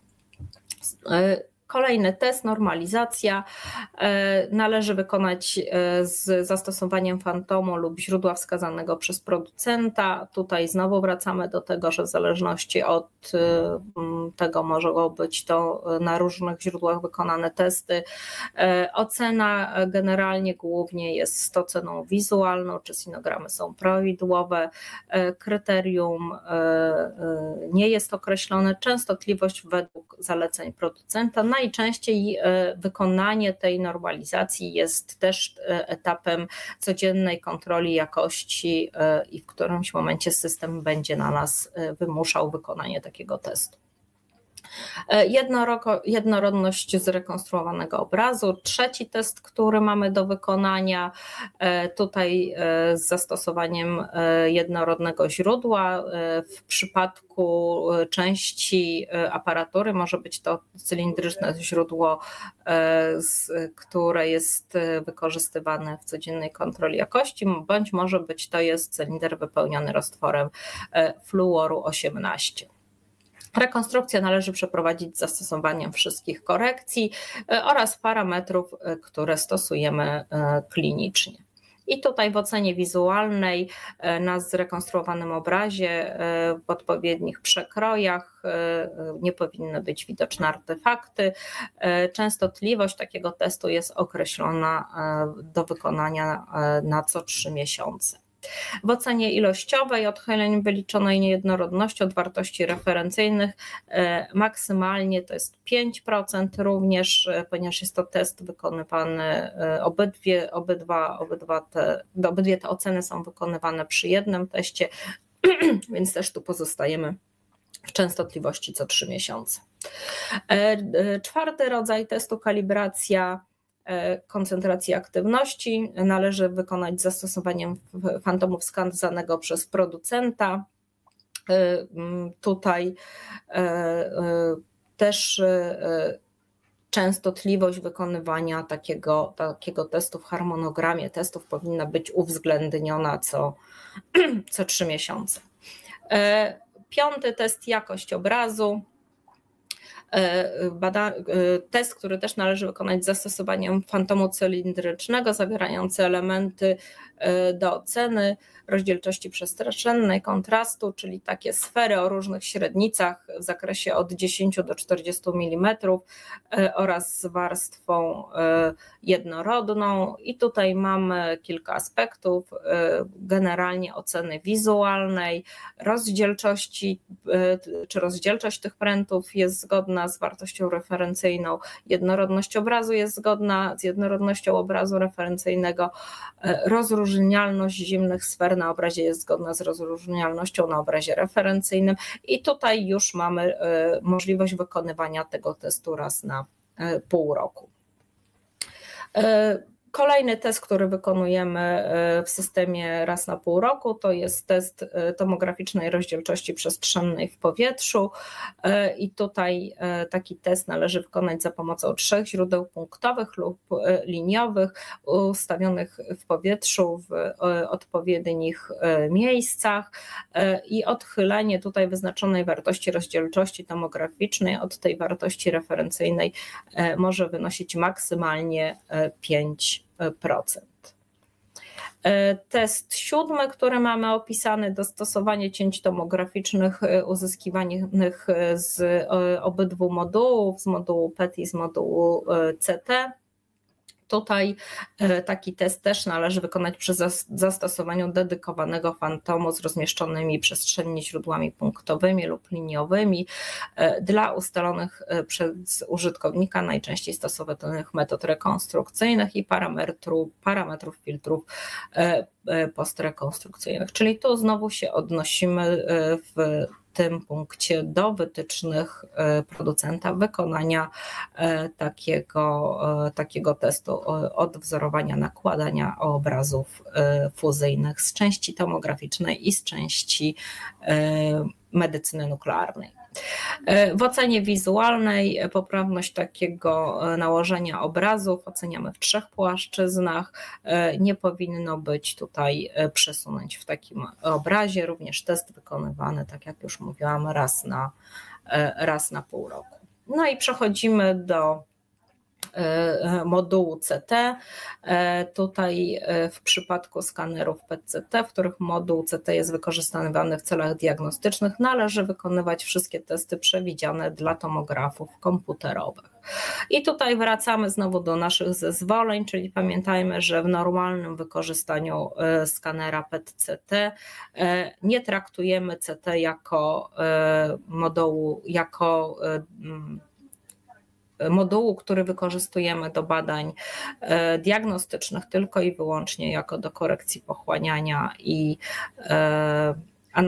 anatomicznego odwzorowania obrazu. Natomiast jeżeli mamy zezwolenie e, Wojewódzkiej Stacji Sanitarno-Epidemiologicznej e, i wykonujemy cały taki zakres e, testów przewidziany dla tomografów komputerowych. Oczywiście moglibyśmy ten aparat wykorzystywać jako tomograf komputerowy, nie wykorzystując części, części petowej. E, tutaj też odnosząc się do poprzedniego wykładu, e, e, myślę, że ten punkt daje nam ten komfort, że w niektórych przypadkach klinicznych wykonanie badania fuzyjnego, czyli badania na PET i na CT równoczasowo E, pod względem zastosowania parametrów do badania e, tomografii komputerowej w pełni diagnostycznych e, pozwala nam zaoszczędzić pacjentowi dodatkowego badania tomograficznego i dodatkowej dawki. Natomiast należy tutaj uwzględniać wtedy, że te wszystkie testy muszą być wykonywane zgodnie z wytycznymi dla e, testów tomografii komputerowej e, i nawet jeśli nie mamy odniesienia do testów specjalistycznych e, w zakresie tej tomografii, w zakresie samego skanera PET,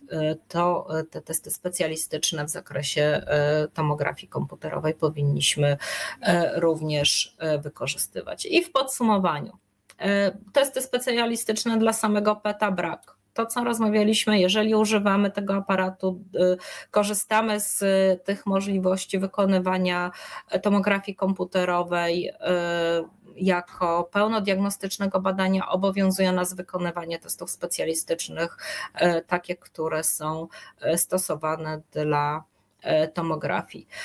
Jeżeli wykorzystujemy PET w planowaniu leczenia, pamiętajmy, że jest on tylko e, dodatkiem do e, nałożenia fuzji obrazów do aparatu, w którym, który ma zezwolenie Państwa Agencji Atomistyki jako w linii terapeutycznej, jako tomograf do planowania leczenia. Sam skaner PET takiego zezwolenia nie posiada i nie, jest, nie możemy formalnie go do, do tylko i wyłącznie na nim opierać plan, e, planu leczenia. E, tutaj e, warto nadmienić, że aparaty do planowania leczenia, tomografy do planowania leczenia mają zupełnie inny o, zakres określony testów, które są na nich wykonywane i musimy to brać pod uwagę, że części z tych testów y, nie bylibyśmy też do końca w stanie wykonać na typowym aparacie y, PET-CT wynikających y, z jego konstrukcji, chociażby mm, ze względu na to, że jednak aparaty PET-CT są stosowane w 80% do diagnostyki. Z założenia one są wyposażone w łóżka diagnostyczne, a paleta, paleta do planowania leczenia jest tylko dodatkiem, e, który się e, dokłada. W związku z tym e, tutaj trudno by nam było uzyskać odchylenia takie, jakie są dla tej palety w testach przewidziane dla aparatu, który z założenia jest wykorzystywany w planowaniu leczenia. E, e, myślę, że e, podobnie, podobnie powinniśmy traktować część CT bez modułu petowego, jeśli chodzi o wykorzystanie tego aparatu CT w pełni diagnostycznego. E, myślę, że nie ma tutaj przeciwwskazań akurat, żeby te wszystkie testy tomograficzne i w zakresie testów podstawowych i w zakresie testów specjalistycznych dla takiego e, aparatu wykonywać od strony e, wykorzystania i założeń dostosowania w, jako pełnodiagnostyczne wykorzystanie tego, tego tomografu. E, w testach podstawowych i testach specjalistycznych mamy oczywiście opisane, e, jakie, jakie te testy powinny być wtedy dla tomografii komputerowej wykorzystywane. I z mojej strony to na tyle. Myślę, że udało mi się pokrótce Państwu przybliżyć ten zakres testów. Dziękuję Państwu bardzo. Jeżeli są jakieś pytania, to proszę dziękuję bardzo. Pani, dziękuję Pani bardzo za e, wyczerpujące przedstawienie kwestii związanych z, e, z testami e, dla urządzeń PET. Ja tutaj bym prosił tylko koleżankę o skomentowanie jednej kwestii dotyczącej fizyków medycznych. Bardzo proszę. Witam, witam Cię Agato. No, witam Dorota. Przypomnieć, że od czasu nowelizacji ustawy prawo atomowe za fizyka medycznego, oprócz oczywiście fizyków posiadających tytuł specjalisty, również możemy uważać fizyków po specjalnym przeszkoleniu e, bądź skończeniu modułów, modułu w zakresie specjalizacyjnym, bądź e, ukończeniu szkolenia zgodnego z programem opublikowanym też przez CMKP, więc które być prawdopodobnie z tego, co ostatnio chyba pan profesor Kukołowicz mówił przy poprzednim Aha, tak, na, tak, na Akademii, tak, tak. Że, nie, jest szansa, że niedługo ruszą. Tak, że, że się uruchomi, tak. No to jest to, co, tak, tak, tak to, co tak. rozmawialiśmy też przy tej okazji, że dużo rzeczy nam się przez pandemię zatrzymało, tak. natomiast no, liczymy, że, że... Chciałem zwrócić uwagę, że akurat jesteśmy właściwie w zakresie procedowania nowego rozporządzenia e, obejmującego testy urządzeń radiologicznych i urządzeń pomocniczych. I tutaj uczulam Państwa i zachęcam do współpracy w zakresie e, no, konsultacji społecznych, jak będą. No, myślę, że to jest bardzo istotne, żeby e, zakłady. Tak. Bardzo Państwa proszę o czujność i, i, i tutaj współpracę w tym zakresie. Dziękujemy bardzo. Będziemy czujni i chętnie włączymy się do współpracy. Dziękuję jeszcze raz Dziękuję. za wystąpienie. Czy jakieś pytania może z, e, od osób, które są z nami połączone w tej sprawie konkretnie, to znaczy w sprawie tego wystąpienia ostatniego? Proszę podnieść rękę albo napisać na czacie komentarz.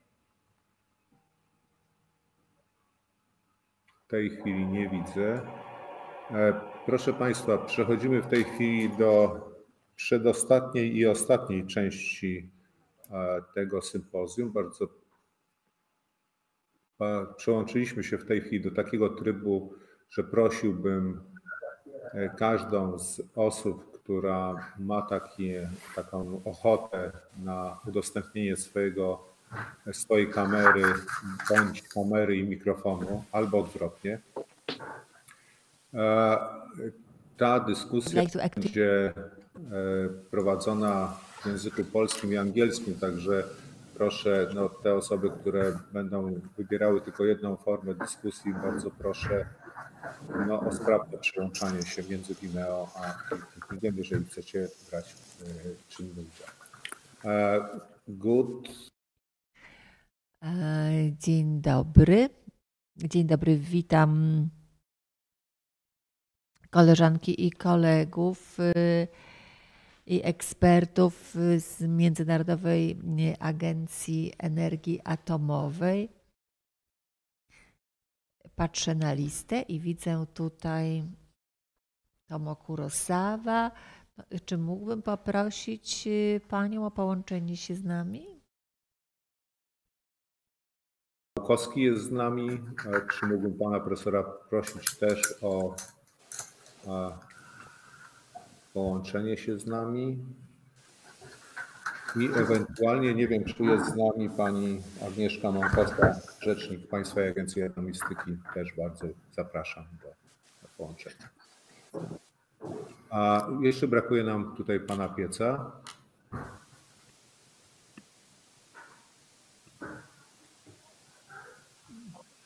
Być może się połączy za chwilę. Okej. Okay. Join us soon. Dobrze, proszę Państwa, to w takim razie y, z, z, właśnie zbliżamy się do końca tego pierwszego y, spotkania y, programu współpracy technicznej. To jest koniec pierwszego spotkania, jak powiedziałem, ale jest to początek w ogóle całego projektu. Ten projekt będzie trwał przez kolejne trzy lata, także to dosyć dużo czasu. Tak, dzień dobry. Witam pana profesora. Jestem przekonany, że nasi goście z agencji, eksperci, z pewnością Państwo pamiętają pana profesora Małkowskiego z poprzedniego projektu. Mam nadzieję, że również będzie Pan z nami w czasie tego projektu. No dobrze, to w takim razie przejdźmy do ogólnej dyskusji, do omówienia tych dwóch dni naszego spotkania dotyczącego projektu. Poproszę Państwa o ogólne komentarze y, dotyczące projektu. Jeśli mają Państwo jakieś y, pomysły, sugestie, to oczywiście bardzo chętnie usłyszymy je w tej dyskusji. Próbow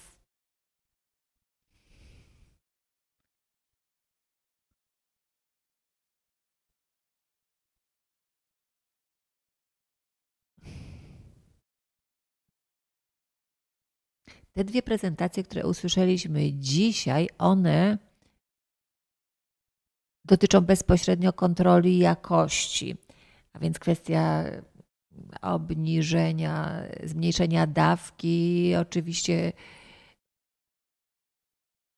ważne jest, że bardzo mocno powiązana z tym jest kwestia jakości obrazu, uzyskanych wyników. A więc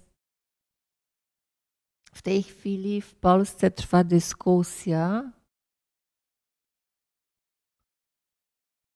bo kontrola jakości w Polsce ma jakby takie dwie strony. Z jednej strony prowadzą ją pracownicy jednostek y, medycyny nuklearnej, a z drugiej strony robią to akredytowane y, laboratoria bądź fizycy medyczni o konkretne, o tej właśnie specjalizacji. Oczywiście w tej chwili, tak prawdą jest, że nie mamy testów na poziomie krajowym uznanych przez krajowe akredytowane laboratoria, ale nad tym pracujemy.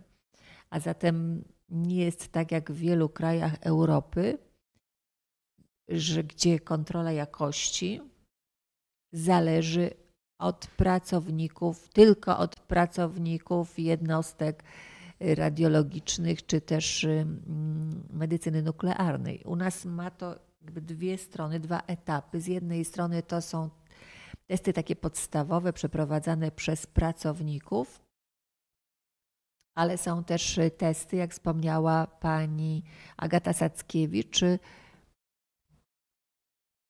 prowadzone przez jednostki działające w zakresie medycyny nuklearnej, ale niestety tak się dzieje z tego powodu, że te testy, które wpiszemy do przepisów krajowych, musimy być pewni, że te testy będą mogły być faktycznie przeprowadzane przez wszystkie oddziały y, i jednostki medycyny nuklearnej. Ponieważ są testy y, przeprowadzane z wykorzystaniem fantomu jaszczaka. To jest y, fantom dostępny w wymiarze komercyjnym. Tego nie mogliśmy wpisać do naszych przepisów, bo wiemy, że y, fantomy jaszczaka są używane w medycynie nuklearnej, ale nie mogą się znaleźć, nie może się ten zapis ich dotyczący znaleźć w przepisach, ponieważ gdybyśmy to zrobili, to jakby wprowadzamy też pewną nazwę handlową, pewną markę, która znajduje się w y, przepisach, a tak nie może być. Musimy poszukać jakichś innych rozwiązań. Na przykład Phantom Nema jest akceptowalny, jest w porządku, bo on nie jest rozwiązaniem komercyjnym i tak dalej i tym podobne. W medycynie jądrowej medycynie nuklearnej, przepraszam, zwłaszcza jeśli chodzi o badania PET, mamy o, o sprzęt PET, mamy problem dotyczący testów, które zostaną zapisane w przepisach, w rozporządzeniu. Przepraszam za to trochę długie wyjaśnienie dotyczące testów. Czy są jakieś komentarze, uwagi dotyczące dzisiejszych prezentacji? Czy mogę coś powiedzieć? Bardzo proszę. Dzień dobry, witam wszystkich Państwa. Po pierwsze, chciałbym podkreślić, że ta część naszej pracy, to znaczy ochrona radiacyjna, to, jest kwest, to są bardzo ważne, bo to ważne jest też dla naszych pracowników, którzy powinni pamiętać o tym, żeby obniżać te dawki. To jest oczywiście sprawa, która wydaje się trywialna, ale nieczęsto koleżanki i koledzy z tego korzystają. W Polsce mamy taką bardzo szczególną sytuację, bo badań, y, bo opłata za badanie nie uwzględnia tej części dotyczącej ochrony radiacyjnej. To znaczy, że kiedy prowadzimy jakąkolwiek procedurę, musimy zastanowić się nad tym, kto i jak zapłaci za tę część, za tę część dotyczącą ochrony. To jest bardzo ważne, bo każda, za każdą pracę trzeba zapłacić. Y, za każdą pracą idzie jakaś płatność. Poza tym, to jest bardzo potrzebne pacjentom i nam, ale nie mamy żadnych narzędzi zwiększenia tego dopływu środków na te bardzo y, specyficzne procedury. To jest też ważne, ważna część, nad którą powinniśmy zastanowić się, wprowadzając jakiekolwiek przepisy, jakiekolwiek uregulowania, bo moim zdaniem bardzo łatwo jest y, napisać, że coś musimy robić, czy coś powinniśmy robić, ale potem, kiedy próbujemy egzekwować to, to okazuje się, że nie ma nikogo, kto będzie to robił, nie ma miejsca, nie ma sprzętu. Więc ważne jest, żebyśmy połączyli te aspekty. Z jednej strony możliwości techniczne, z drugiej strony źródła finansowania i jeszcze z trzeciej strony możliwości w zakresie personelu, tak żeby ktoś mógł to realizować. Więc myślę, że to, że ten projekt powinien też uświadomić naszemu społeczeństwu, naszym urzędnikom z Ministerstwa Zdrowia, że to, że to jest ważna sprawa i że powinniśmy tu znaleźć jakieś rozwiązanie. I to, co jest ważne dla mnie, no bo Y, koleżanki i koledzy z Polski wiedzą, że jestem fanem y, badań PET. Te, ten, ten projekt jest ściśle powiązany z, właśnie z, z badaniami PET.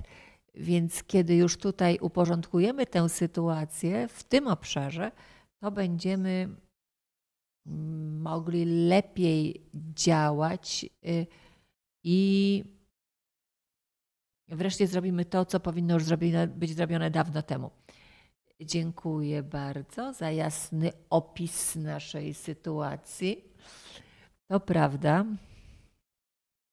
Już dwa dni mówimy właśnie o kwestii pracowników, pieniędzy, y, również zastosowania wysokich technologii, sztucznej inteligencji które wkraczają i które już są obecne w medycynie nuklearnej. Może jeszcze jakieś uwagi czy komentarze w tej sprawie? John, bardzo proszę. Bardzo ciekawa była, były te prezentacje. Chcę również Bardzo to miłe. Pan profesor dziękuję tłumaczom, tłumaczki dziękują za miłe słowa. Y, pierw, jeżeli chodzi o pierwszą naszą prezentację dzisiejszą dotyczącą redukcji dawki, tam wspomniano o tej nowej, o, o nowej technologii, o półprzewodnikach, o tych y, silikonowych y, fotopowielaczach, które w tej chwili pozwalają, żeby skanery PET skanowały 25 cm naraz. Chcę podnieść, że jest taki dokument Europejskiego Stowarzyszenia Medycyny Nuklearnej, chyba z ostatniego miesiąca, który pozwala tym, którzy mają już taki sprzęt, zmniejszyć wstrzykiwaną aktywność. Oczywiście to dotyczy też PET-MR. Tam też 25 jest centymetrów dla PET. Chcę o tym powiedzieć. I kolejna sprawa, o której mówił pierwszy y, mówca, to jest y, ta akredytacja, która jest bardzo mile widziana w przypadku badań PET.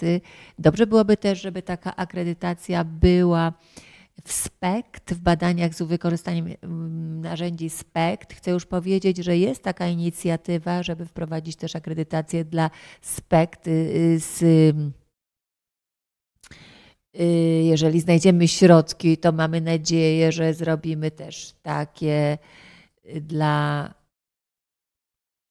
y, lutetu 177. Pan Maciej Piec, czy ma Pan jakieś uwagi, czy jakoś chciałby się Pan odnieść do tych komentarzy?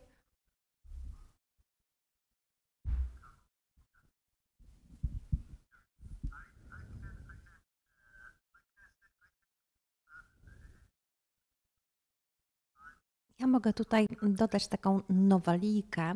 E, jestem w kontakcie z Europejskim Stowarzyszeniem Fizyków Medycznych. Jest taka grupa robocza, która opracowała protokół dla, dla mm, jak kontroli jakości badań e, PET i to są takie rutynowe kontrole, więc w zakresie technologii PET e, te testy NEMA nie są niestety y, odpowiednie dla mm, jakości, kontroli jakości, więc tutaj brakuje nam pewnego elementu. Y, musimy tutaj prowadzić pewne testy y, w sposób rutynowy, z odpowiednią częstotliwością, więc już niedługo zobaczymy taki dokument dotyczący właśnie tej dziedziny. Proszę być czujnym. Myślę, że za kilka dni go otrzymamy. Wiemy, że ten dokument ma być opublikowany pod koniec tego roku. Oczywiście potrzebne są pewne zatwierdzenia. E, jakieś graficzne, e, może zmiany tutaj będą wprowadzone, więc tylko sprawy estetyczne będą zmieniane. I wydaje nam się, że mamy w medycynie nuklearnej dużą lukę, jeżeli chodzi o kontrolę jakości. E, I wydaje mi się, że, że tutaj będziemy mieli takie przydatne narzędzia, będą fantomy, które będą nam pozwalały to prowadzić. Tak. E, e, zawsze jesteśmy czujni e, w momencie, kiedy mm, wychodzą nowe publikacje dotyczące tej dziedziny. Wiem, że jeszcze nie jesteśmy gotowi do tego, żeby te ogólne przepisy dotyczące kontroli jakości w badaniach PET, żeby one w pełni były uwzględnione w polskich przepisach. Mm, znacznie łatwiej byłoby y, przeprowadzać takie kontrole, wprowadzić te zapisy, jeżeli ludzie byliby po prostu chętni y, do tego. Nawet tutaj w tych naszych przepisach jest wyraźnie napisane, że jeżeli nie ma żadnych informacji w rozporządzeniach, y, informacji o testach, to mm, trzeba y, przestrzegać zaleceń producentów. To jest naj, taki najprostszy sposób rozwiązania tego problemu. W każdym razie y, tutaj mm, mamy do czynienia z takimi ogólnymi testami, które mm, mogą być prowadzone do przepisów krajowych, które mogą okazać się przydatne dla medycyny nuklearnej. Mówię tutaj oczywiście o testach, o zagadnieniu kontroli jakości. To jest taki główny temat. Musimy być pewni, że to, co będzie zawarte w tych przepisach, będzie rzeczywiście przydatne, pomocne e, dla jednostek e, medycyny nuklearnej i dla stosowanych przez nie urządzeń. E, czasami mm, no wiemy, że są pewne przepisy, które mówią o takich testach.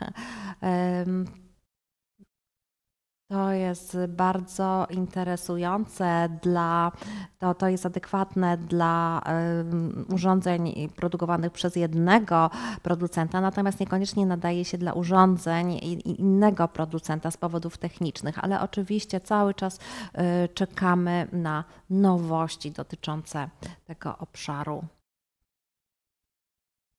Czy są jeszcze jakieś pytania bądź uwagi dotyczące mm, naszego dwudniowego spotkania. Patrzę, czy ktoś podniósł rękę.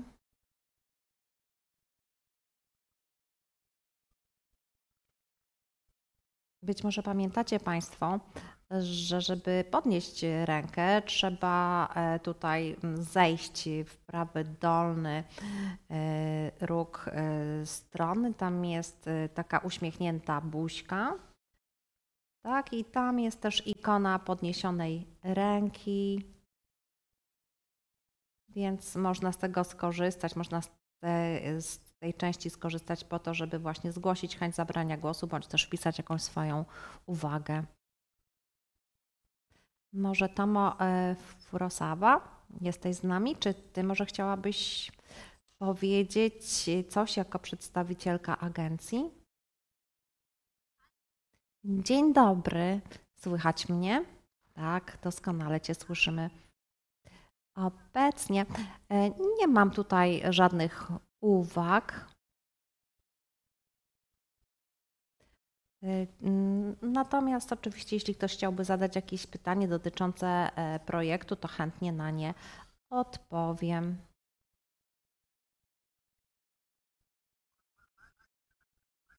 I ja, ja chciałbym coś dodać, jeśli mogę. Jeśli nikt nie chce tutaj zabrać głosu, wydaje mi się, dzisiaj rano usłyszałem wiele informacji dotyczących kontroli jakości sprzętu. Usłyszałem też, że Generalnie e, mamy do czynienia z taką dyrektywą europejską z roku 2013. I tutaj mówi się dużo o fizyce w kontekście medycyny e, nuklearnej. Z doświadczenia wiem, to jest moje osobiste zdanie, jako fizycy medyczni Powinniśmy wykonywać kontrolę jakości, powinniśmy ją nadzorować. E, we Włoszech prowadzimy takie rutynowe kontrole jakości. One są prowadzone przez technologów i fizycy mm, y, po prostu tylko e, są, y, pobierają wyniki, e, sprawdzają, czy wszystko jest w porządku, jeśli chodzi o te wyniki. Biorą także udział w tych e, testach przyjęcia akceptacyjnych. Mm, wiemy także, że w kontekście ochrony radiologicznej musimy uwzględniać aspekty ochrony pracowników. Moim zdaniem powinniśmy także poświęcać dużo czasu, dużo energii na, spra na sprawy mm, leczenia, które jest realizowane przy pomocy medycyny nuklearnej. Być może Państwo nie wiecie o tym, ale słyszałem, że firmy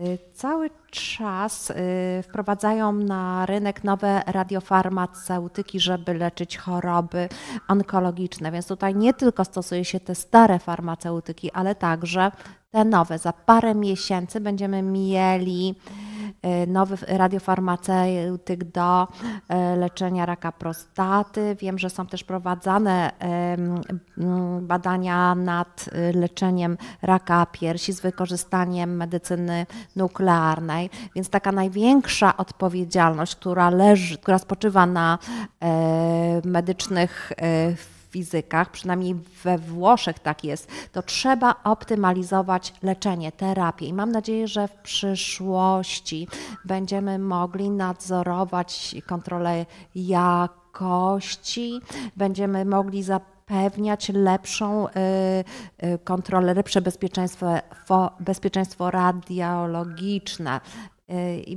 Tak naprawdę jako będziemy uczestniczyć w, w procesie leczenia naszych y, pacjentów, y, y, poprawy tego leczenia.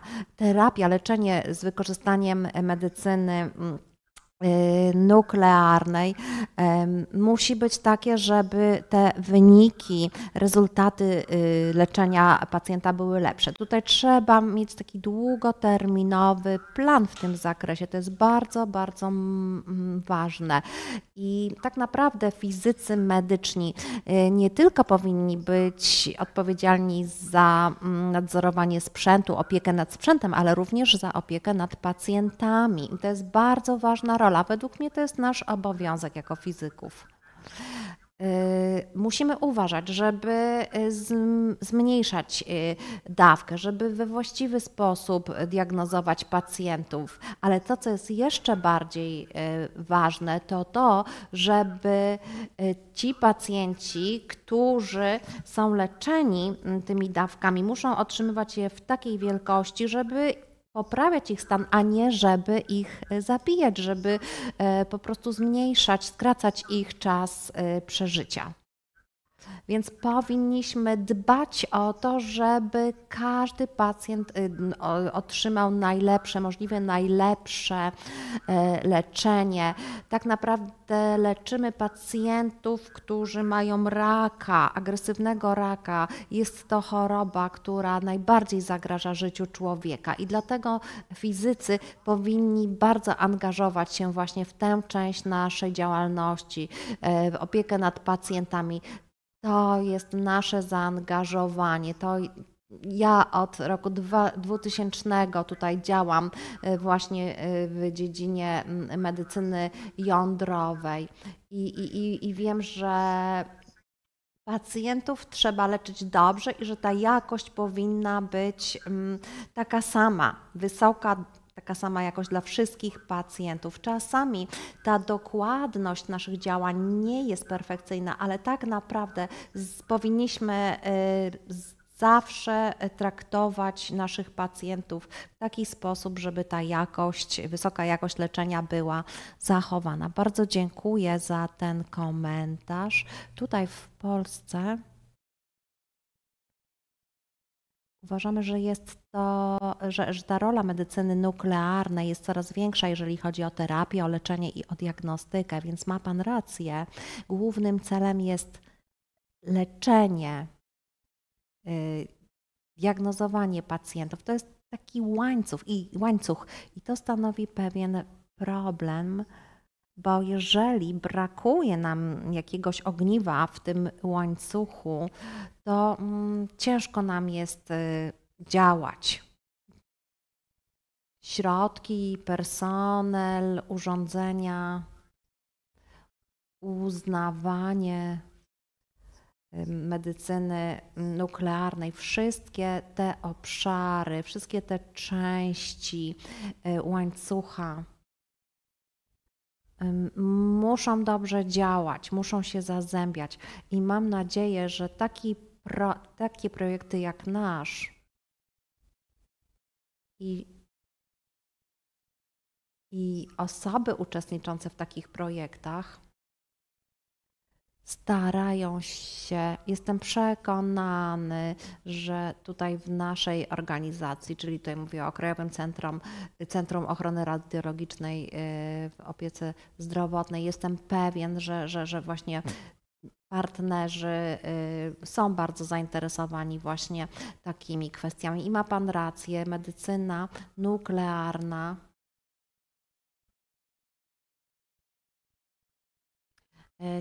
nie może być upatrzona nie może być rozpatrywana jako metoda gorszej drugiej klasy czy diagnostyka drugiej klasy.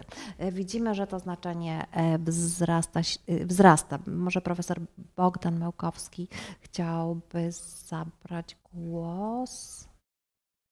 Pan jest specjalistą medycyny nuklearnej, jest pan lekarzem.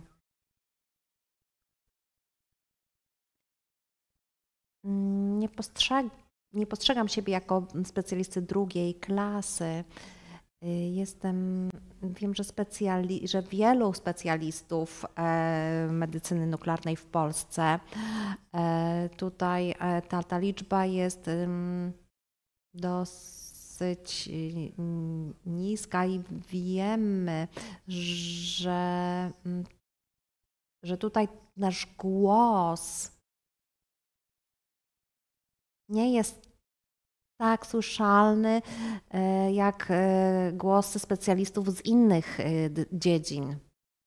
Kiedy mówimy o zdrowiu publicznym, to nasze działanie ma takie szczególne znaczenie. Moim zdaniem musimy pracować, musimy robić wszystko, co jest możliwe, żeby pokazać naszą e, specjalizację e, na tle tych innych, po to, żeby podkreślić te zalety, e, które właśnie płyną z zastosowania radioizotopów. Moim zdaniem, zdaniem powinniśmy działać właśnie w na tle tych, tych, tych innych specjalizacji. Musimy pokazywać te procedury, które są bardzo szczególne w naszej dziedzinie. E, I musimy pokazać, jak to się ma do leczenia pacjentów. Co, co się dzieje z pacjentami, kiedy jest, dochodzi do trzeciego nawrotu choroby i widzimy, że ten stan y, pacjenta jest coraz gorszy, więc staramy się leczyć, więc chcemy zrobić wszystko, żeby y, leczyć takich pacjentów na wcześniejszych etapach y, choroby.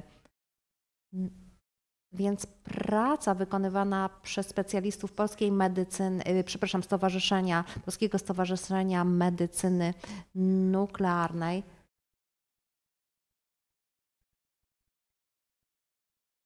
Jestem prezesem tego stowarzyszenia przez 6 lat i tutaj mam pewne e, wątpliwości, dlatego, bo te procedury biurokratyczne są e, bardzo mozolne, długo trwają. E, tutaj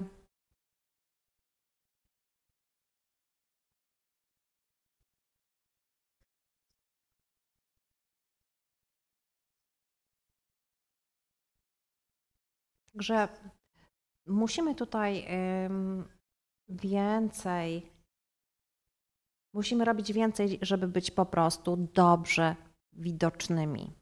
Bardzo dziękuję. Tak, po, popieram, popieram to, co Pan powiedział. Mm, mm, myślę, że musimy tutaj y, naciskać szczególnie Ministerstwo Zdrowia, żeby tutaj doszło do takiej zmiany podejścia, mentalności. Wiem, że to nie będzie łatwe i że ten proces będzie długo trwał, ale musimy zacząć coś robić. Czy ktoś jeszcze chciałby zgłosić jakąś uwagę bądź y, pytanie? Czy też powoli będziemy zmierzali ku zakończeniu naszego spotkania? Nie widzę uwag w języku angielskim, więc teraz przejdę na Czy Państwo macie jakieś uwagi dotyczące tego, e, tego sympozjum, tych wszystkich e, prezentacji? Możecie Państwo to wyrazić po polsku również. Czy przedstawiciele e, Państwowej Agencji Atomistyki czy e, Głównego Inspektoratu, e, Głównego Inspektora Sanitarnego chcieliby też zabrać głos. Czy jest pani Agnieszka Monkosa?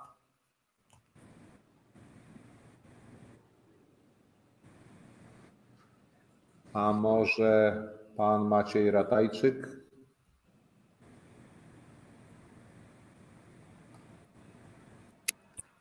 O tak, Dzień dobry, czy słychać mnie? tak słychać pana. Może powiem po angielsku e, kilka słów, żeby wszyscy zrozumieli. I will switch to English. E, Witam Państwa. Nie mam uwag do, czy komentarzy do tego, co mm, usłyszeliśmy, natomiast doceniam te wszystkie informacje, które Państwo nam przekazali i z mojego punktu widzenia te prezentacje dotyczyły tematów bardzo ważnych, czyli ochrony radiacyjnej w medycynie nuklearnej. Z przyjemnością Państwa wysłuchałem. Dziękuję bardzo. Bardzo dziękuję za te krótkie, ale miłe słowa. I teraz jeszcze mm, tytułem wyjaśnienia. Pan Maciej Ratajczyk reprezentuje Główny Inspektorat Sanitarny i jest zastępcą dyrektora Wydziału. Czy jakieś jeszcze uwagi? Jeżeli nie, to chciałbym Państwu podziękować, podziękować wszystkim naszym gościom, wszystkim naszym mówcom. Mam nadzieję, oczywiście e, uczestnikom słucha, którzy nas słuchali, bo widziałem, że na platformie Vimeo ponad w szczytowych momentach było ponad 20 osób. To jest naprawdę dużo, jak na tak dość hermetyczny temat. 20-30 osób to naprawdę dużo.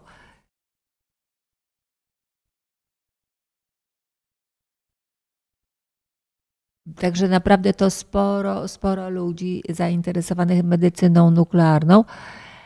Dziękuję Państwu wszystkim. Mm, spotka to była nasza okazja do pierwszego spotkania w ramach tego projektu, projektu POL 9027. Mam nadzieję, że będziemy mieli taką okazję, że będziemy współpracować dalej podczas nadchodzących trzech lat. Dziękuję jeszcze raz y, wszystkim y, autorom wszystkiej prezentacji. Pozostajemy w kontakcie. Jeśli ktoś y, ma jakiekolwiek pytania, oczywiście można kontaktować się z Johnem, z Tomo, z Margaritą i z Carlo.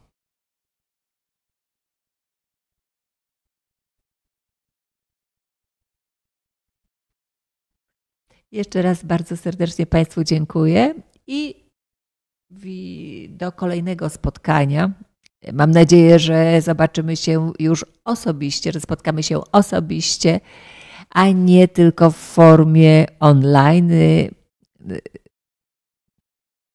y, będziemy się starali, żeby Państwa zaprosić tutaj, naszych gości z zagranicy do Polski, żebyśmy, żeby mieli Państwo okazję spotkać się z nami w Łodzi, w Polsce, zwłaszcza w Łodzi, bo to nasze miasto. Dziękuję bardzo.